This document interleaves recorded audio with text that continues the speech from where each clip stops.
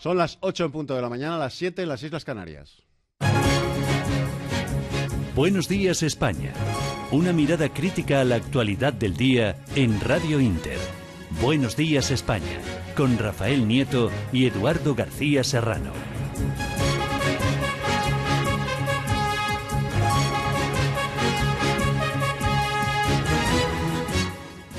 Buenos días España, buenos días españoles, muy bienvenidos todos a este espacio de la Inter, del Grupo Intereconomía. Buenos días España, que realizamos cada día de lunes a viernes desde las 7 en punto de la mañana y hasta las 12 del mediodía. Fernando Ballesteros, María Mera, Rafa Nieto, Sergio Fernández, Miguel Barderas en el control central de realización. Y a partir de las 8 se suma a este equipazo un servidor de todos ustedes, para ya junto a María Mera y a Fernando Ballesteros, con Miguel Barderas en el control central de realización, pues darle el último repaso a lo más importante de la actualidad nacional e internacional. Y a partir de las ocho y media, la tertulia, el gato de la mañana. Vamos pues con la información nacional. La mayoría de Junts pel Sí en la mesa del Parlamento catalán rechazó ayer las peticiones de reconsideración de Ciudadanos, del PSC y del Partido Popular al admitir a trámite la propuesta del grupo independentista de reforma express del reglamento de la Cámara catalana y agilizar así la aprobación de las leyes de desconexión con España. Ciudadanos, PSC y Partido Popular en Cataluña habían presentado peticiones de reconsideración a la mesa contra su decisión de admitir a trámite de forma condicionada la propuesta de Junts per Sí de reforma del reglamento del Parlamento con la que el grupo del gobierno tiene la intención de aprobar las leyes de desconexión de forma express con el procedimiento de lectura única. En su reunión de ayer la mesa rechazaba las solicitudes de estos tres grupos y daba luz verde a tramitar la reforma del reglamento. La oposición amenaza con no participar en los trabajos de la ponencia conjunta como ya sucediera con las tres que se crearon para elaborar las leyes de desconexión, que solo contó con la presencia de Junts per Sí y de la CUP. Desde Junts per Sí, precisamente, Roger Torrent defendía de esta forma la medida. Es un debate en el cual se pueden hacer todas las propuestas que se pretendan. Lo que hacen los grupos es juzgar uh, la intencionalidad por la ideología del grupo que hace la propuesta. La vicepresidenta del Gobierno, Soraya Sáenz Santamaría, ha acusado a la Generalitat de vivir en una realidad paralela que nada tiene que ver con los deseos de los catalanes y de enfrascarse en una huida hacia adelante sin apoyo social y sin respetar siquiera sus instituciones de autogobierno. Santa María afirmaba que brilla por su ausencia la legitimación del proceso soberanista para aprobar una ley de ruptura con España. De hecho, les espetaba que no van a ningún sitio por mucho que corran. Santa María cree que los partidos del gobierno catalán han entrado en una dinámica absolutamente incomprensible. A pesar de ello, avisa de que la operación diálogo continúa abierta. La legitimación de todo este proceso brilla por su ausencia y cada vez más es más, más eh, controvertido y más eh, criticado por el conjunto de las instituciones. Yo llamo a la reflexión, no van a ningún sitio por mucho que corran y el problema es que están corriendo, pero lo que están dejando es a Cataluña los problemas de los catalanes detrás. Por su parte, el presidente de la Comisión Gestora del PSOE, Javier Fernández, recordaba que el gobierno tiene mecanismos para evitar que se vulneren las leyes, que es lo que ha sucedido en Cataluña. Fernández señalaba que lo que está pasando en esta comunidad es que los independentistas han puesto en marcha un proceso de secesión y la secesión tiene un componente político y otro jurídico. Desde el punto de vista político, eh, ¿qué debe hacer el gobierno? Bueno, pues el gobierno lo que debe es intentar llegar a acuerdos políticos en la medida de lo posible que preserven la unidad del Estado y que solucionen los problemas de Cataluña. Pero desde el punto de vista eh, jurídico, lo que se ha saltado es la ley y el Estado tiene una serie de mecanismos para eh, evitar ¿no? que el, el, en este caso que se vulneren las leyes. El PSC ha avanzado que no participará en esa futura ponencia conjunta para reformar el reglamento del Parlamento con el objetivo de agilizar la aprobación de las leyes de desconexión y ha dejado claro que estudiará todos los recursos posibles para garantizar los derechos de los diputados. Miquel Iceta denuncia que se traten de cambiar las reglas de tapadillo. Pretender cambiar el reglamento de Cataluña para que lo que ellos dicen que será la ley más importante en 300 siglos de historia se apruebe de tapadillo, con nocturnidad, o por la puerta de atrás nos parece indigno para los que lo proponen, insoportable para los que en teoría se nos va a imponer. Nosotros vamos a trabajar para que eso no suceda. En la misma línea se expresaba el presidente de Ciudadanos, Albert Rivera, quien denunciaba en los pasillos del Congreso de los Diputados la nueva huida hacia adelante de los independentistas catalanes al acelerar su proceso de desconexión con el resto del Estado. Cree que esta vez existe un agravante y es que los independentistas ya no solo vulneran la Constitución y las leyes aprobadas por el Congreso de los Diputados, sino que no respetan las instituciones de Cataluña. También desde Ciudadanos, Fernando de Páramo cree que el gobierno catalán trata de hacerse un reglamento a su medida. Lo que quieren hacer es tener un reglamento a medida para poder declarar la independencia. Y eso nos preocupa, porque lo van a hacer además sin contar con la opinión de la oposición. Van a pasar el rodillo, literalmente, por cierto, sin tener mayorías eh, sociales, y quieren pasar ese rodillo para saltarse el reglamento y para hacer lo que les da la gana en el Parlamento. Y en el Parlamento hay que escuchar a todos los grupos parlamentarios. En democracia hay que escuchar a la oposición. En democracia hay que dejar que la oposición también participe en los debates. También desde las filas de Cataluña Sí que Spot han censurado a los independentistas al señalar que cargarse la democracia en nombre del proceso no es legítimo. En cambio, el vicepresidente primero de Parlamento, Luis María Corominas, esgrimía el informe de los servicios jurídicos del Parlamento como prueba de que la propuesta de reforma del reglamento es perfectamente válida y legal. La preocupación por la corrupción y el fraude se ha disparado en el último mes 3,5 puntos hasta alcanzar el 37,3%, según el último barómetro del Centro de Investigaciones Sociológicas, que confirma el pesimismo de los españoles sobre el futuro de la economía y de la política. El paro sigue siendo citado como la principal preocupación por el 72,2% de los encuestados, aunque baja 1,1 puntos respecto al anterior informe. El Centro de Investigaciones Sociológicas constata un aumento de la preocupación de los españoles por el futuro de la situación económica, ya que el 21,7% teme que vaya a peor cuando hace un mes este porcentaje era del 17,1 y muestra un empeoramiento de la visión que los ciudadanos tienen de la actual situación política, ya que si el 19,6% de los entrevistados opinaron en enero que este ámbito irá a peor dentro de un año, en febrero responden así un 23,6%, un aumento de cuatro puntos en tan solo un mes. Son las tres principales preocupaciones de los españoles y tras ellas el concepto de los políticos en general, los partidos y la política, que preocupa a un 23,4% de los ciudadanos, la sanidad, que sigue como quinta preocupación con un leve ascenso de seis décimas hasta un 13,9% y los problemas sociales y la educación. Por cierto, Cataluña como problema permanece en niveles muy bajos, aunque sube tres décimas. Para el 1,7% de los encuestados es un asunto que preocupa. Con todo, los partidarios de mantener la actual estructura territorial de España han bajado en el último mes algo más de dos puntos, hasta el 36,1%, y también han descendido casi en la misma magnitud los que se decantan por un Estado en el que se reconozca a las comunidades la opción de convertirse en independientes, pues responden de esta forma el 8,9%. Rosendo Naseiro, ex tesorero de Alianza Popular, empresario y coleccionista de arte, negó ayer en su declaración como testigo en el juicio del caso Gürtel haber hecho operaciones de compraventa de cuadros con el ex tesorero del Partido Popular, Luis Bárcenas. Naseiro desmontaba de esta forma la versión de Bárcenas de que parte de su dinero procedía de operaciones de compraventa de arte al afirmar que el señor Bárcenas no compraba cuadros ni era coleccionista. Además, el ex tesorero de Alianza Popular asegura no tener relación con Bárcenas ni con nadie del PP desde que estalló en 2009 el caso Gürtel, pese a seguir siendo militante del partido. Yo no le he comprado cuadros al señor Bárcenas ni le he vendido como no fuera un cuadrito pequeño, tipo decorativo o cosa de eso. Yo no he tenido relaciones con él. Él no es, no es ni era marchante ni entiende de cuadro. También se le interrogó sobre las transferencias que hizo desde la cuenta Glotón que tenía en la banca Gotardo de Suiza a las de Bárcenas, también en bancos helvéticos. El testigo, que fue tesorero en 1987 de Alianza Popular hasta que en el 90 fue detenido por el llamado caso Naseiro, dijo que no está de acuerdo con que sea suya y luego negó haber hecho las transferencias a Bárcenas y a otras personas. El Partido Socialista va a ofrecer hoy a Ciudadanos un acuerdo de gobierno estable para la región de Murcia que pueda ser apoyado por Podemos desde el Parlamento Autonómico en los dos años que restan de legislatura. La constitución de un gobierno de coalición entre el segundo y el cuarto partido en representación parlamentaria es la principal propuesta con la que va a acudir hoy el Partido Socialista a la apertura de negociaciones con Ciudadanos para desbancar al Partido Popular del Gobierno después de la ruptura del acuerdo de investidura y la negativa de dimitir del actual presidente Pedro Antonio Sánchez. Ciudadanos apelaba ayer a la prudencia a través de su portavoz Miguel Sánchez, quien afirmaba que la moción de censura propuesta por el PSOE es algo extraordinario y excepcional y que no se pueden precipitar porque una iniciativa de ese calibre no es cuestión baladí.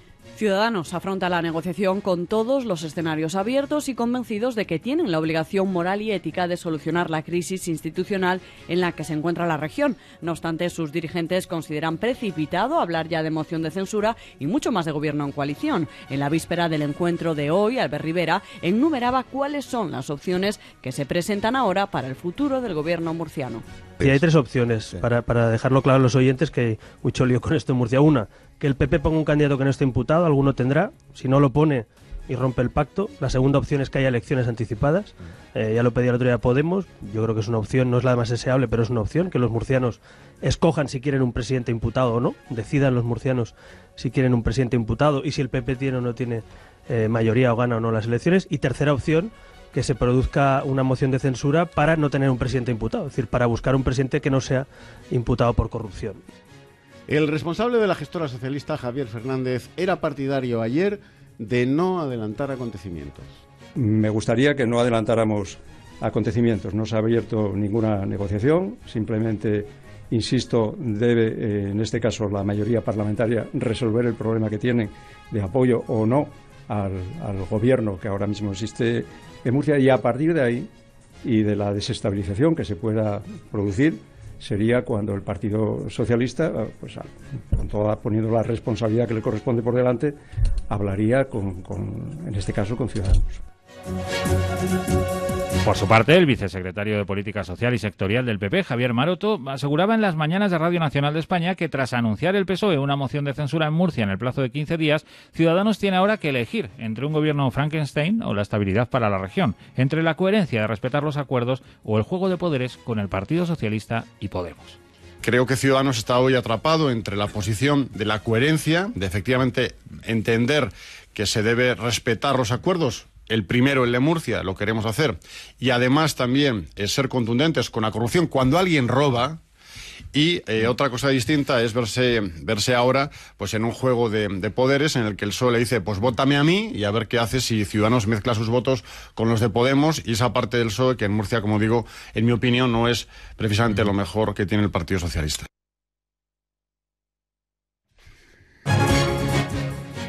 El líder del Partido Socialista de Cataluña, Miquel Iceta, considera que los socialistas catalanes no pierden soberanía en las nuevas relaciones que inician ahora con el PSOE que tendrán como base el acuerdo firmado ayer entre ambos partidos. El presidente de la gestora del PSOE, Javier Fernández, y el líder del PSC rubricaron el acuerdo que celebraron que a partir de ahora exista un instrumento que ayude a evitar, prevenir y resolver discrepancias. Tras sellar la paz, destacaban que el objetivo es compartir y consensuar y que el acuerdo es bueno para el PSOE, para el PSC, para España y Cataluña. Ambos han dado por superado este amargo momento, tal y como lo definía Fernández. El nuevo acuerdo establece que será el PSC quien tenga la iniciativa en materia de pactos, alianzas y acuerdos de gobernabilidad en Cataluña, pero que tendrán que consensuarse con el PSOE. Y Z considera que hace falta más PSOE en Cataluña y más PSC en España y cree que a la hora de establecer este nuevo marco de relaciones se partía de la igualdad. De cara al futuro, espera que el acuerdo sea el instrumento adecuado para resolver los obstáculos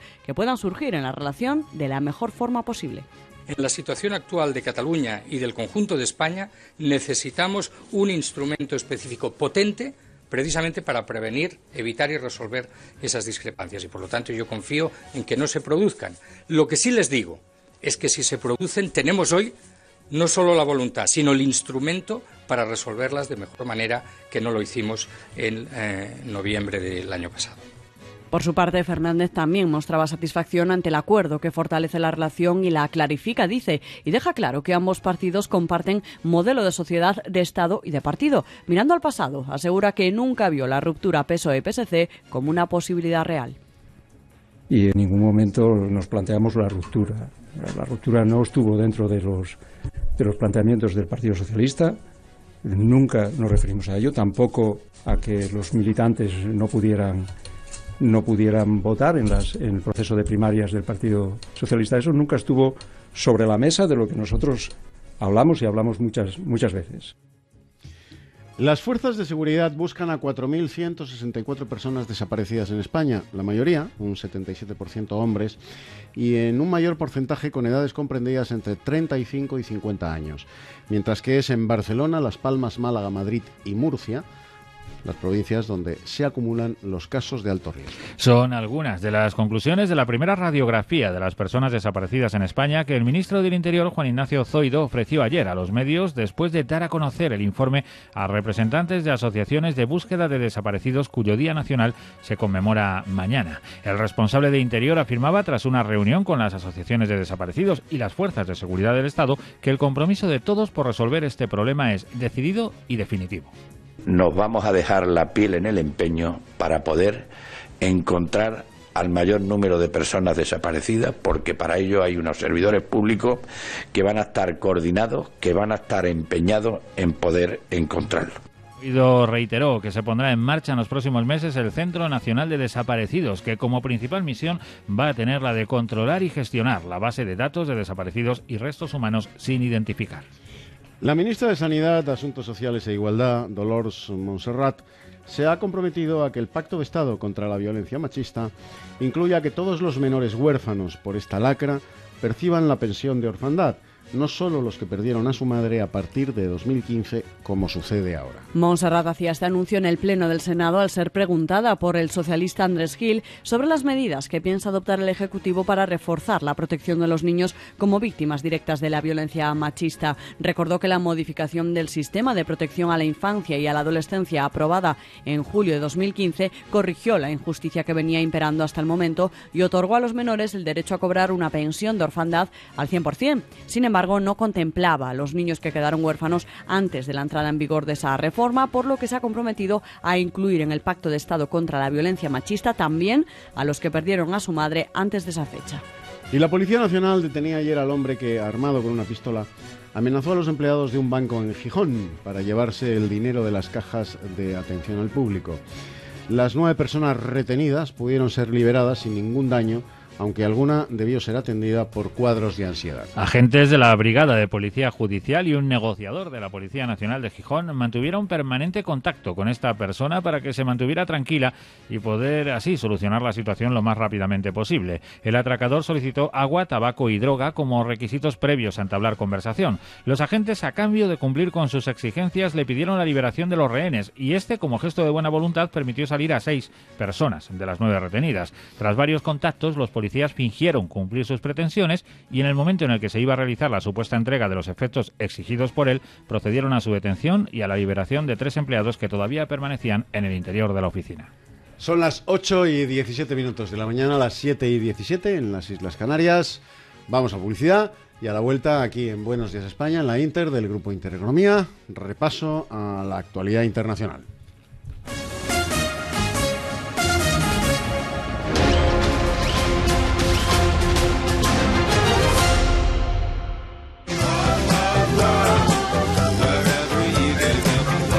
Estimado inversor, De Giro está trabajando para convertirse en el mayor broker de España, ofreciendo prácticamente todos los mercados del mundo con las tarifas más bajas. Una operación de 10.000 euros en acciones de Google con De Giro solo cuesta 58 céntimos, un 98% más barato que en otros brokers online. Abre una cuenta gratuita en degiro.es. Desde que me fui de casa de mis padres he aprendido dos cosas fundamentales en relación a la comida. Una, que si quiero comer bien, tengo que comprar bien. Gracias. Hola, hijo. Gracias. Me voy a comer con unas amigas. Y la segunda, que siempre hay que tener fuete imperial en casa. Imperial El Pozo. Sabor imperial. El Pozo. Contigo de principio a fin. El Rincón de la Rodríguez. Una experiencia única en Madrid. Todos los viernes y sábados a partir de las 21 horas. Disfruta de grandes momentos de ópera, zarzuela y danza. El Rincón de la Rodríguez. Calle Corazón de María 6. Teléfono 618 349122. Siempre hay que tener fuete imperial en casa. ¡Sorpresa! Imperial El Pozo. Sabor imperial. El Pozo. Contigo de principio a fin. 8 millones de catalanes se apagaron el 6 de diciembre de 2016. Los supervivientes de la propuesta de la CUP llamaron a aquella acción el día del inicio del proceso independentista. Solo vivieron para hacer frente a otra pesadilla, los funcionarios catalanes. La diputada que controlaba a los independentistas, Ana Gabriel, viajó a través del tiempo. Eso explicaría su pelo. Para destruir al líder de la resistencia española. Inés Arrim. No, esa no. Albert Rivera.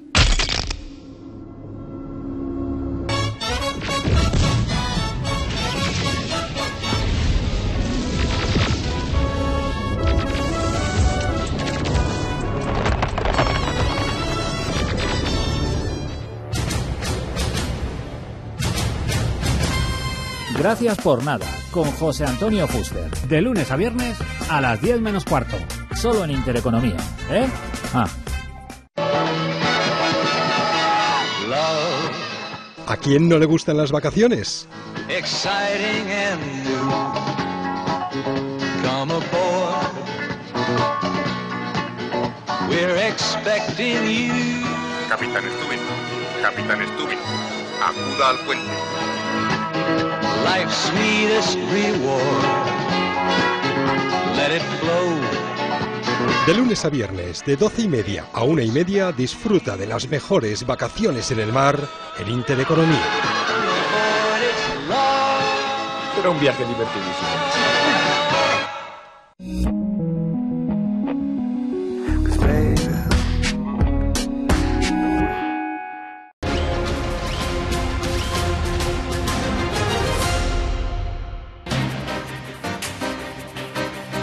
Buenos días, España.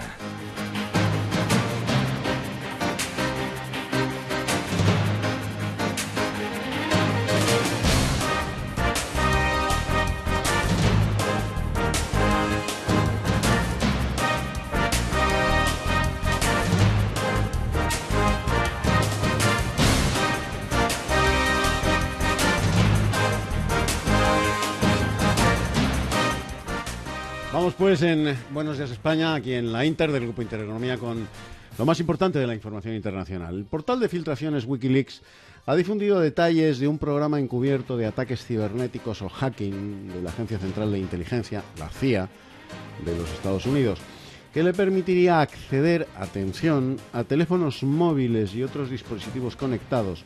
Unas revelaciones que forman parte de una serie en siete entregas que la web define como la mayor filtración de datos de inteligencia de toda la historia.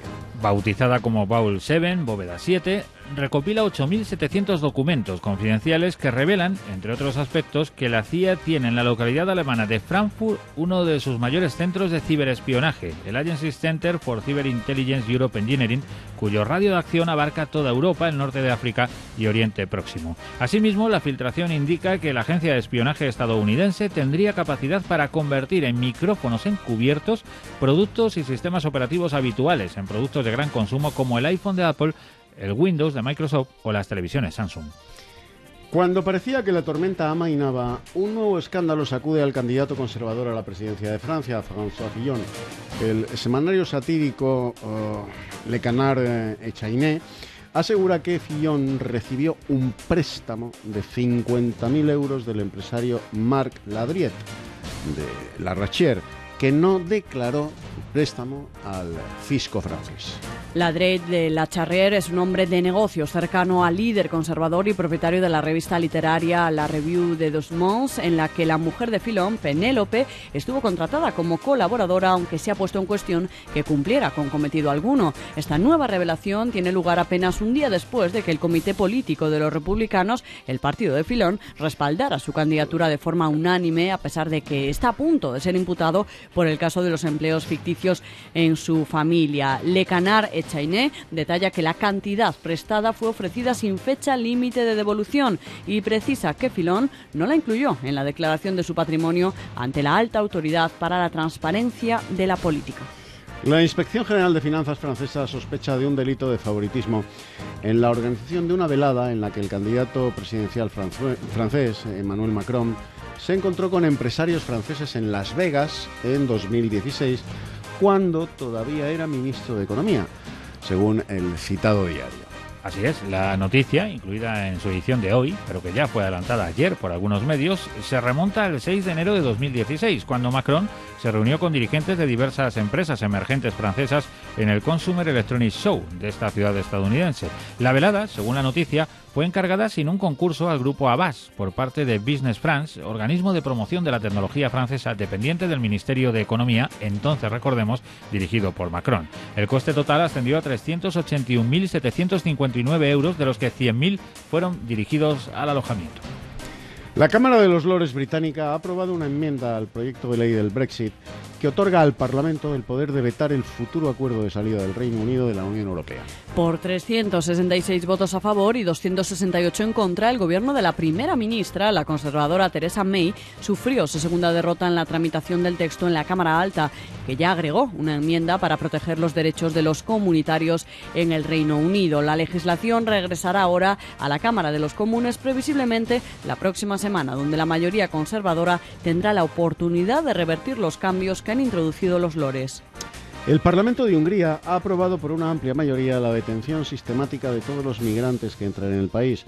Una medida criticada por la Agencia de Naciones Unidas para los Refugiados, ACNUR. La controvertida ley, aprobada por 138 votos a favor, 6 en contra y 22 abstenciones, establece que los demandantes de asilo solo podrán presentar sus solicitudes en zonas de tránsito situadas en la frontera con Serbia y Croacia, donde serán ingresados en centros de internamiento hasta la finalización de los trámites de sus solicitudes de asilo. En el caso de ser rechazados, solo tendrán la posibilidad de regresar a Serbia. La medida se aplicará tanto a los recién llegados como a los solicitantes de asilo ya residentes en el país que según las autoridades húngaras alcanzaron los 586 en febrero.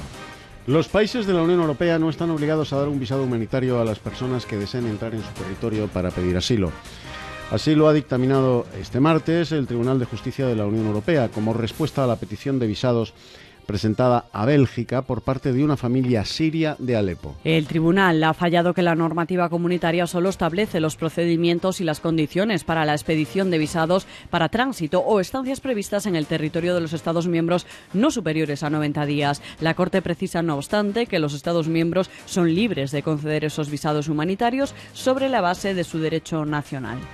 El ex general panameño Manuel Antonio Noriega, conocido como Cara de Piña, de 83 años, permanece en cuidados intensivos en estado crítico tras ser sometido a una segunda operación en menos de ocho horas y después de una hemorragia cerebral.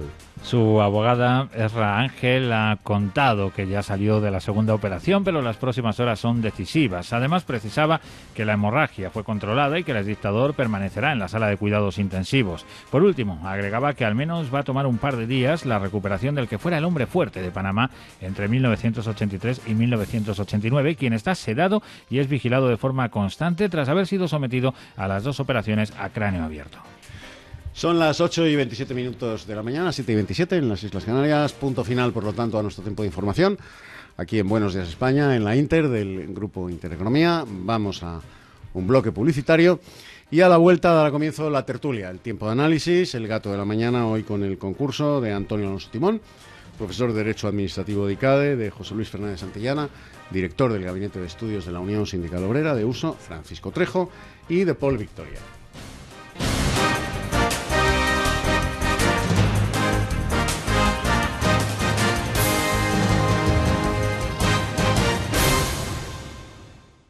Radio Inter.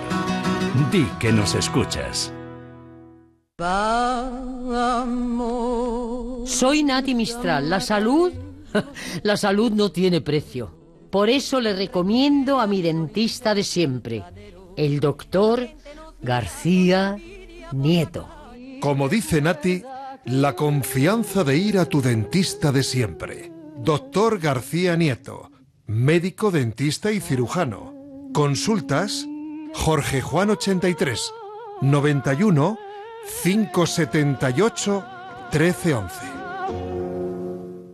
No hablamos de buscarle el inquilino, hablamos de solucionarle los problemas con él. ¿Está usted seguro que su contrato de alquiler le protege convenientemente? ¿Tiene problemas de impago de rentas? ¿Alguna vez ha tenido conflicto por ver quién, si inquilino o propietario, tenía que pagar determinados arreglos de la vivienda? ¿Tiene problemas con la comunidad de vecinos? ¿Le han puesto una demanda o la quiere poner usted? ¿Sí? Pues llame a Legal Lifeline 902 80 8108 y contrate con estos abogados el producto protección al alquiler. Por solo 98 euros al año, menos de 8 euros al mes, tendrá a su disposición un abogado a las 24 horas del día. Legal Lifeline 902 80 8108. No tiene precio decir, eso se lo dice usted a mi abogado. 902 80 8108.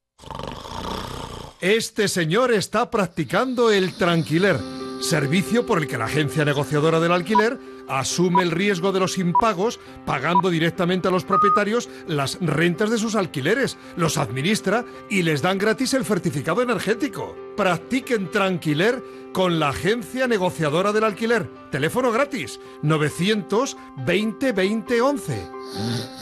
Mira qué tranquilo está. Tampoco pido tanto, solo pido Porque nos has pedido todavía más descuentos, aquí tienes las terceras rebajas con hasta un 60% de descuento en una gran selección de productos. Solo en las mejores rebajas del corte inglés, las del 75 aniversario. Tú pide. Radio Inter. Di que nos escuchas.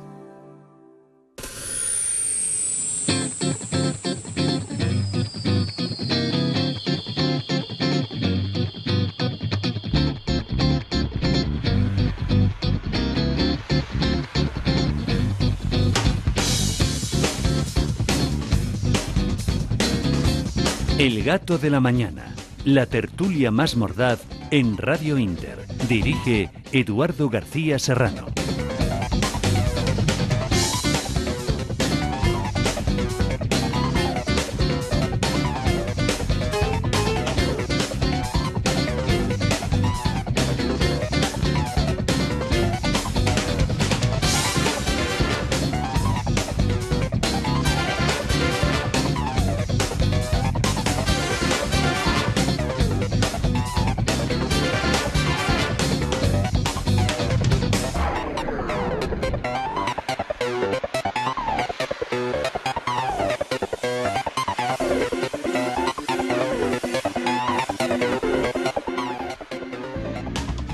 8 y 31 minutos de la mañana, las 7 y 31 en las Islas Canarias. Acabamos de finalizar, como saben, nuestro tiempo de información en Buenos Días España, desde las 7 en punto de la mañana. Y damos comienzo, como cada día, más o menos hasta ahora, a nuestro tiempo de análisis, la tertulia, el gato de la mañana. Saben que nos sintonizan a través de nuestras frecuencias de radio, onda media, frecuencia modulada, por supuesto, a través de internet y simultáneamente por la tele, ¿eh? en Intereconomía Televisión, donde nos pueden ver y oír simultáneamente. ¿Eh? Eh, lo digo, no es que yo sea tonto, bueno, un poquito sí, ¿eh? pero mm, digo esta perogrullada, que a mucha gente le puede parecer una perogrullada de que nos pueden oír y ver en la tele, porque yo, por ejemplo, ayer el partido de fútbol lo vi en la tele, evidentemente, con el sonido apagado y con la radio sintonizada, que es como a mí me gusta seguir los, los partidos. Bueno, pues puede que haya gente que nos vea en la tele y nos escuche por la radio. Enhorabuena, don Eduardo, por la Muchas gracias, don. Antonio. A punto del infarto, ¿no? Muchas gracias. Sí, sí, sí, sí, sí. Con ese tiro al palo eh, que hubiera sido el 2-0, eh, en fin, mm, Marchemos todos juntos y yo el primero por la senda de la Champions. de la Champions. Yo espero, eh, lo digo de corazón, eh, que bueno, pues el Paris Saint Germain cumpla su trámite hoy y que nos quite de en medio tanto a los del Atleti como a los del Madrid, nos quite en medio al Barça. ¿eh? Y que Estamos nos condenados a una tercera final. En una final de Champions. Encuentros el en la Atlético de Madrid y el Real Madrid. De hecho, las, La tercera final. de hecho, las encuestas al Barcelona le dan 0% de victoria. O sea, desde Bueno, que se cambió la- el tema de la Champions. la- Bueno, lo que pasa es que desde que, dejó- desde que Luis Enrique ha dicho que se va, el Barça está jugando, ¿eh? Sí. Bueno, también firmó Messi. O sea, Sí, que- pero José Luis, el, el, el Paris Saint Germain no es ni el Eibar ni el Sporting de Gijón. Sí, es complicado, ¿eh? sí, la remontada. Y meterle 5 al, eh, al Paris Saint Germain sin que, que el no Paris meta Saint ni Germain Sí, no te marque ni uno, pues hombre, es complicado, ¿eh? Es complicado. Sí, la empresa no es fácil. ¿eh? Es complicado. Pero bueno, en la República Independiente de Cataluña todo es posible. Lo mismo Puigdemont y Junqueras bajan al vestuario del Paris Saint Germain a ofrecerles unas puesto. relaciones privilegiadas con la, No, o, o con la la, República normativa. Independiente de Cataluña. O cambia la normativa en un ratito para, para que diga, bueno, aquí pasa el que pierde, ¿no? No sé. To- Todo puede Todo es ser. posible. Todo puede ser. Ahí estaba OMS en, en Estados Unidos, en una radio local, vendiendo la, la independencia de Cataluña. Qué susto me ha dado usted, don Nardo. Creía que el- vendía maquinillas eléctricas. Y yo frutas, frutas y hortalizas. Y estaba resulta pensando. que el locutor le dijo de todo y por su orden, o sea, todo lo que no se atreve a decirle el gobierno de España se lo dijo el locutor norteamericano. lo dejó, claro. Estas son las cosas que pasan cuando, cuando, Cuando te crees que todo el mundo es tan cobarde, tan pusilánime. Eh, tan negligente como el gobierno tu español, gobierno. ¿eh? Así es. Entonces sales de, de España y vas a Inglaterra. Y en Inglaterra resulta que mm, eh, va este el, el Varoufakis eh, mm, catalán, el, el Romeva, ¿eh? el calvo este de la lotería que, que va vendiendo por ahí cupones para la independencia de Cataluña. Y lo sientan en una televisión inglesa y el locutor se las da todas en el mismo lado porque se cree que, que está en, en TV3 o en RAC 1. ¿eh? Y no, pues, pues además le ha pasado exactamente lo mismo en Estados Unidos. ¿eh? Y le han dado por todos lados. Por todos lados. Porque claro, esos locutores no actúan, esos periodistas norteamericanos, británicos, no actúan como, como Soraya Sáenz Santa María, como Mariano Rajoy, como el ministro de Asuntos Exteriores, el anterior y el presente. No, no, no, le dicen, oiga, ¿ustedes dónde van? ¿Ustedes dónde van? ¿Pero qué es eso de que ustedes no forman parte de España? ¿De dónde se han sacado esa milonga? claro. El despacho de la pre- de vicepresidenta sigue en Barcelona. No está Sí, sí, muchos sigue teniendo una habitación con vistas a los Balcanes. En, Yo creo que para en mucho en Zaragoza. ¿El paseo de Gracia o...? Yo creo que últimamente para mucho en Zaragoza que- para que le quede cerca de- Madrid y de la burra, ¿no? ¿Lo tiene en el paseo de gracia al despacho o en el paseo de desgracia? de que no de, más bien en la de que desgracia esta teoría del pasteleo y del acuerdo y del diálogo no existe, o sea que es que no no no no, no prospera, ¿no? Y por tanto, es decir, yo No creo parece, que aquí ¿no? hay una provocación una vez más y tiene que haber una reacción, una por, Claro, una, tiene que haber una reacción por la vía legal y otra por la vía política. Yo creo que son las dos cuestiones que hay Es que que, abordar es que de además fondo, son ¿no? inseparables ambas dos. Claro, pero es que aquí lo que estamos la redundancia. pero lo que pasa es que la, la- la parte política no se ha utilizado nunca, Nunca. o mal y luego y la vía legal siempre se ha tirado hacia otro lado, es decir, que sea el constitucional ¿eh? Quien de haga, ¿no? Oiga, el y el, y el legislativo no, quién, que venga el ¿no? constitucional a solucionarme Claro, el problemilla este. poner aquí ponerse de y el perfil. ejecutivo para qué está. Manos al asunto, Claro, ¿no? exacto. Bueno, vamos a presentar a la mesa que nos hemos... Siempre don Antonio, don Antonio que es el, el- el que, el que lía todas las tertulias. Es ¿no? verdad. Sí, sí, Don Antonio mete la cuchara y. Así somos los del Atlético. Aquí el Frente Atlético, el Frente Atlético es el que... Los del Atlético no tenemos remedio. Sí, que son, Estamos condenados al éxito. son, son más anarcos que, que Paul Victoria. Los del Y es Atlético. decir, que ya es decir. Oye, la peineta está quedando muy bien, ¿eh? Bueno, Peineta quedamos. El Wanda Metropolitano. No, yo le llamaré siempre la peineta por aquello de ser Hoy español. conforman la mesa de tertulia don Antonio Alonso Timón, profesor de Derecho Administrativo de ICADE. Muy buenos días. Muy buenos días, querido. Eh, José Luis Fernández Santillana, director del Gabinete de Estudios de la Unión Sindical Obrera de Uso. ¿Qué tal, José Luis? Muy bien, estupendamente. Don Paul Victoria, recién llegado de Colombia, ¿m? De ese bellísimo país eh, hispanoamericano. Eh, la semana pasada no estuvo en la tertulia, pues porque se hallaba, se hallaba en Colombia. Sí, señor, pero aquí de vuelta desde la Nueva Granada. Cuando Paul Victoria va a Colombia sube el pan. Pero allí o aquí. Paul En ambos. Victoria, economista liberal, ¿eh? la, la encarnación del Libertario, liberalismo en- en, libertario. estado puro. ¿eh? Estos, Ay, Dios mío. estos chicos tan simpáticos del liberalismo que las han organizado de Aquilo, ¿eh? Que son los responsables de que apareciera el bolchevismo, posteriormente el fascismo, las políticas Don liberales. Eduardo, don de- Eduardo, empieza usted fuerte de- hoy, ¿eh? de- de estas son mis condiciones eh, laborales, estas son mis condiciones salariales, yo soy el dueño de, de la fábrica, de los medios de producción, si las queréis aceptar bien y si no, pues sois muy libres, eso sí, democráticamente de moriros de hambre. ¿eh? los Todos los trabajadores. alternativos al liberalismo han triunfado estas. mucho. ¿La Sí, firmáis? No. A la puta calle, a morirse de hambre todo el mundo. ¿Eso es el liberalismo? ¿Eso es el liberalismo? ¿Quiere usted, desa- ¿Quiere usted desarreglar su vida? Ponga un libertario en ella. Ya está. El balón es mío, ¿no? Son como esos niños impresentables e impertinentes en el cole. El balón es mío y... Y yo no Con el balón se juega a lo que yo quiero y juega quien yo quiero. La verdad es que sí, que es así. pues- el liberalismo no ha generado riqueza nunca. No. Pues ante eso ha generado tiene- el bolchevi- el- Sí, Tiene sí, que sí, Creo que, creo que el libre mercado fue lo que arruinó al mundo, ¿no? Sí, pobre, el pobre mundo, ¿ah? Que le llegó el libre mercado y se le dañó todo. Antes había pura riqueza. y Pues ya sí. está. Y estamos en lo mismo. Estamos en lo mismo. Luego hablaremos también ¿eh? Por el CIS. Estamos en lo mismo.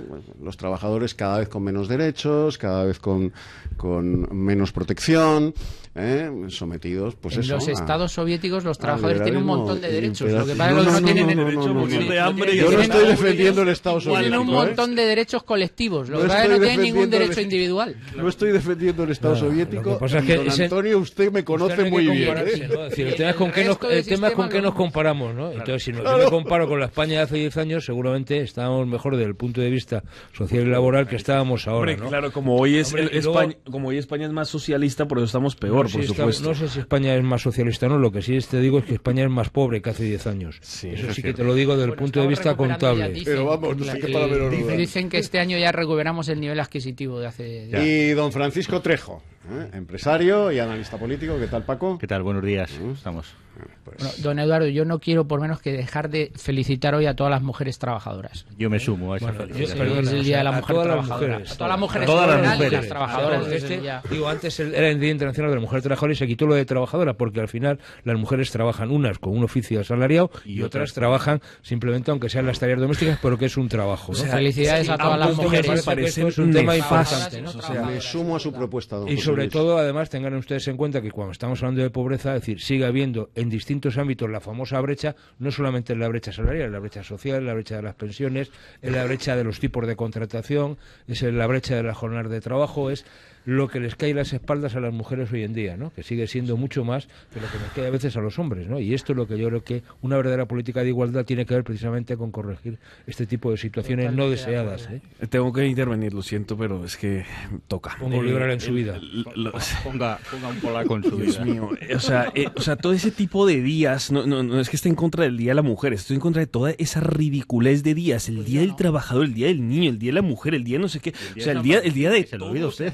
Son, son unos días tan, tan sin sentido, tan vacíos como, oye, como estamos en un mundo vacío, vamos a meter días ahí para que, no, sustituir las fiestas religiosas por días paganos, a ver si, si medio eh, mimetizamos esa nueva religión que estamos intentando meter en el mundo, o sea, no, parece una filosofía horrible eso de los días. Y para empezar, soy de igualitarismo, no sé qué, es que, es que no... No, no, o yo sea, no hablo de que- igualitarismo. Pero ¿eh? no, es que la igualdad... Es que no, no, no, no, no tiene nada que- ver, ¿eh? Siempre ese discurso de la igualdad, meterla en todas las cosas, pero ¿por qué tiene que haber igualdad en nada si la igualdad No. es antinatural? No, vamos a, no, perdona, o sea, igualdad de derechos, otra cuestión es las legítimas diferencias que pueden existir entre las personas y las cosas, y otra cosa son las, el derecho y por tanto la igualdad en las cosas que tú puedes hacer o proponer. Son dos situaciones distintas, se puede ser diferente, pero tener igualdad de derechos. Lo que estamos reivindicando, al menos la uso como sindicato, es la igualdad de derechos. La legítima diferencia es así, hombre es hombre, mujer es mujer, y también incluso en plan de coña o no coña, decimos que afortunadamente, eso lo digo yo, ¿eh? no lo dice la uso, que afortunadamente los hombres y las mujeres tenemos sexo y el género lo predicamos de las cosas. Pero esto es una opinión. Sí, decís Sí, cosas señor. sensatas. Muy bien, decís José cosas- Luis. Eso, Sí, estoy eso totalmente de acuerdo.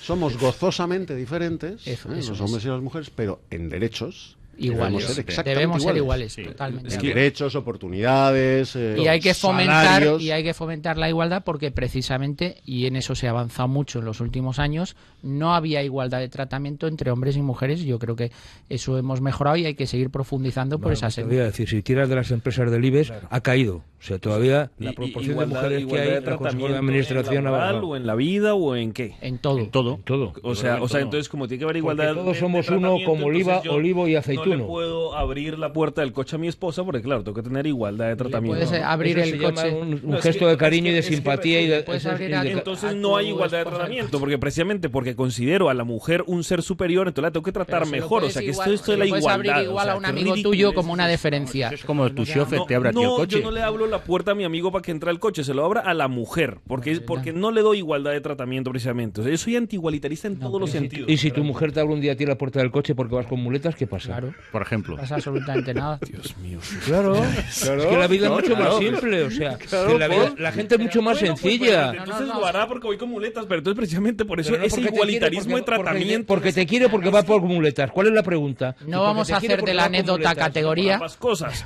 Pero, pero, pero, Mira entonces no tiene por qué haber, haber igualdad en nada. O sea, es que es, es, es, es el, la const- el Pero como no la ha habido, constante sí, error, pero si yo estoy de acuerdo contigo en el fondo, pero como no la ha de habido, Estamos hablando de igualdad de, de derechos, derechos. y de oportunidades. No estamos hablando de. derechos tampoco. No estamos hablando de igualitarismo, no estamos hablando del café con leche para todos. Estamos hablando de que no se puede a una persona por ser mujer llevarla a una situación. Vamos a ver. Es decir, si tú coges ahora mismo la nómina de pensiones, la- el mayor número de pensionistas está en el tramo entre 600 y 155.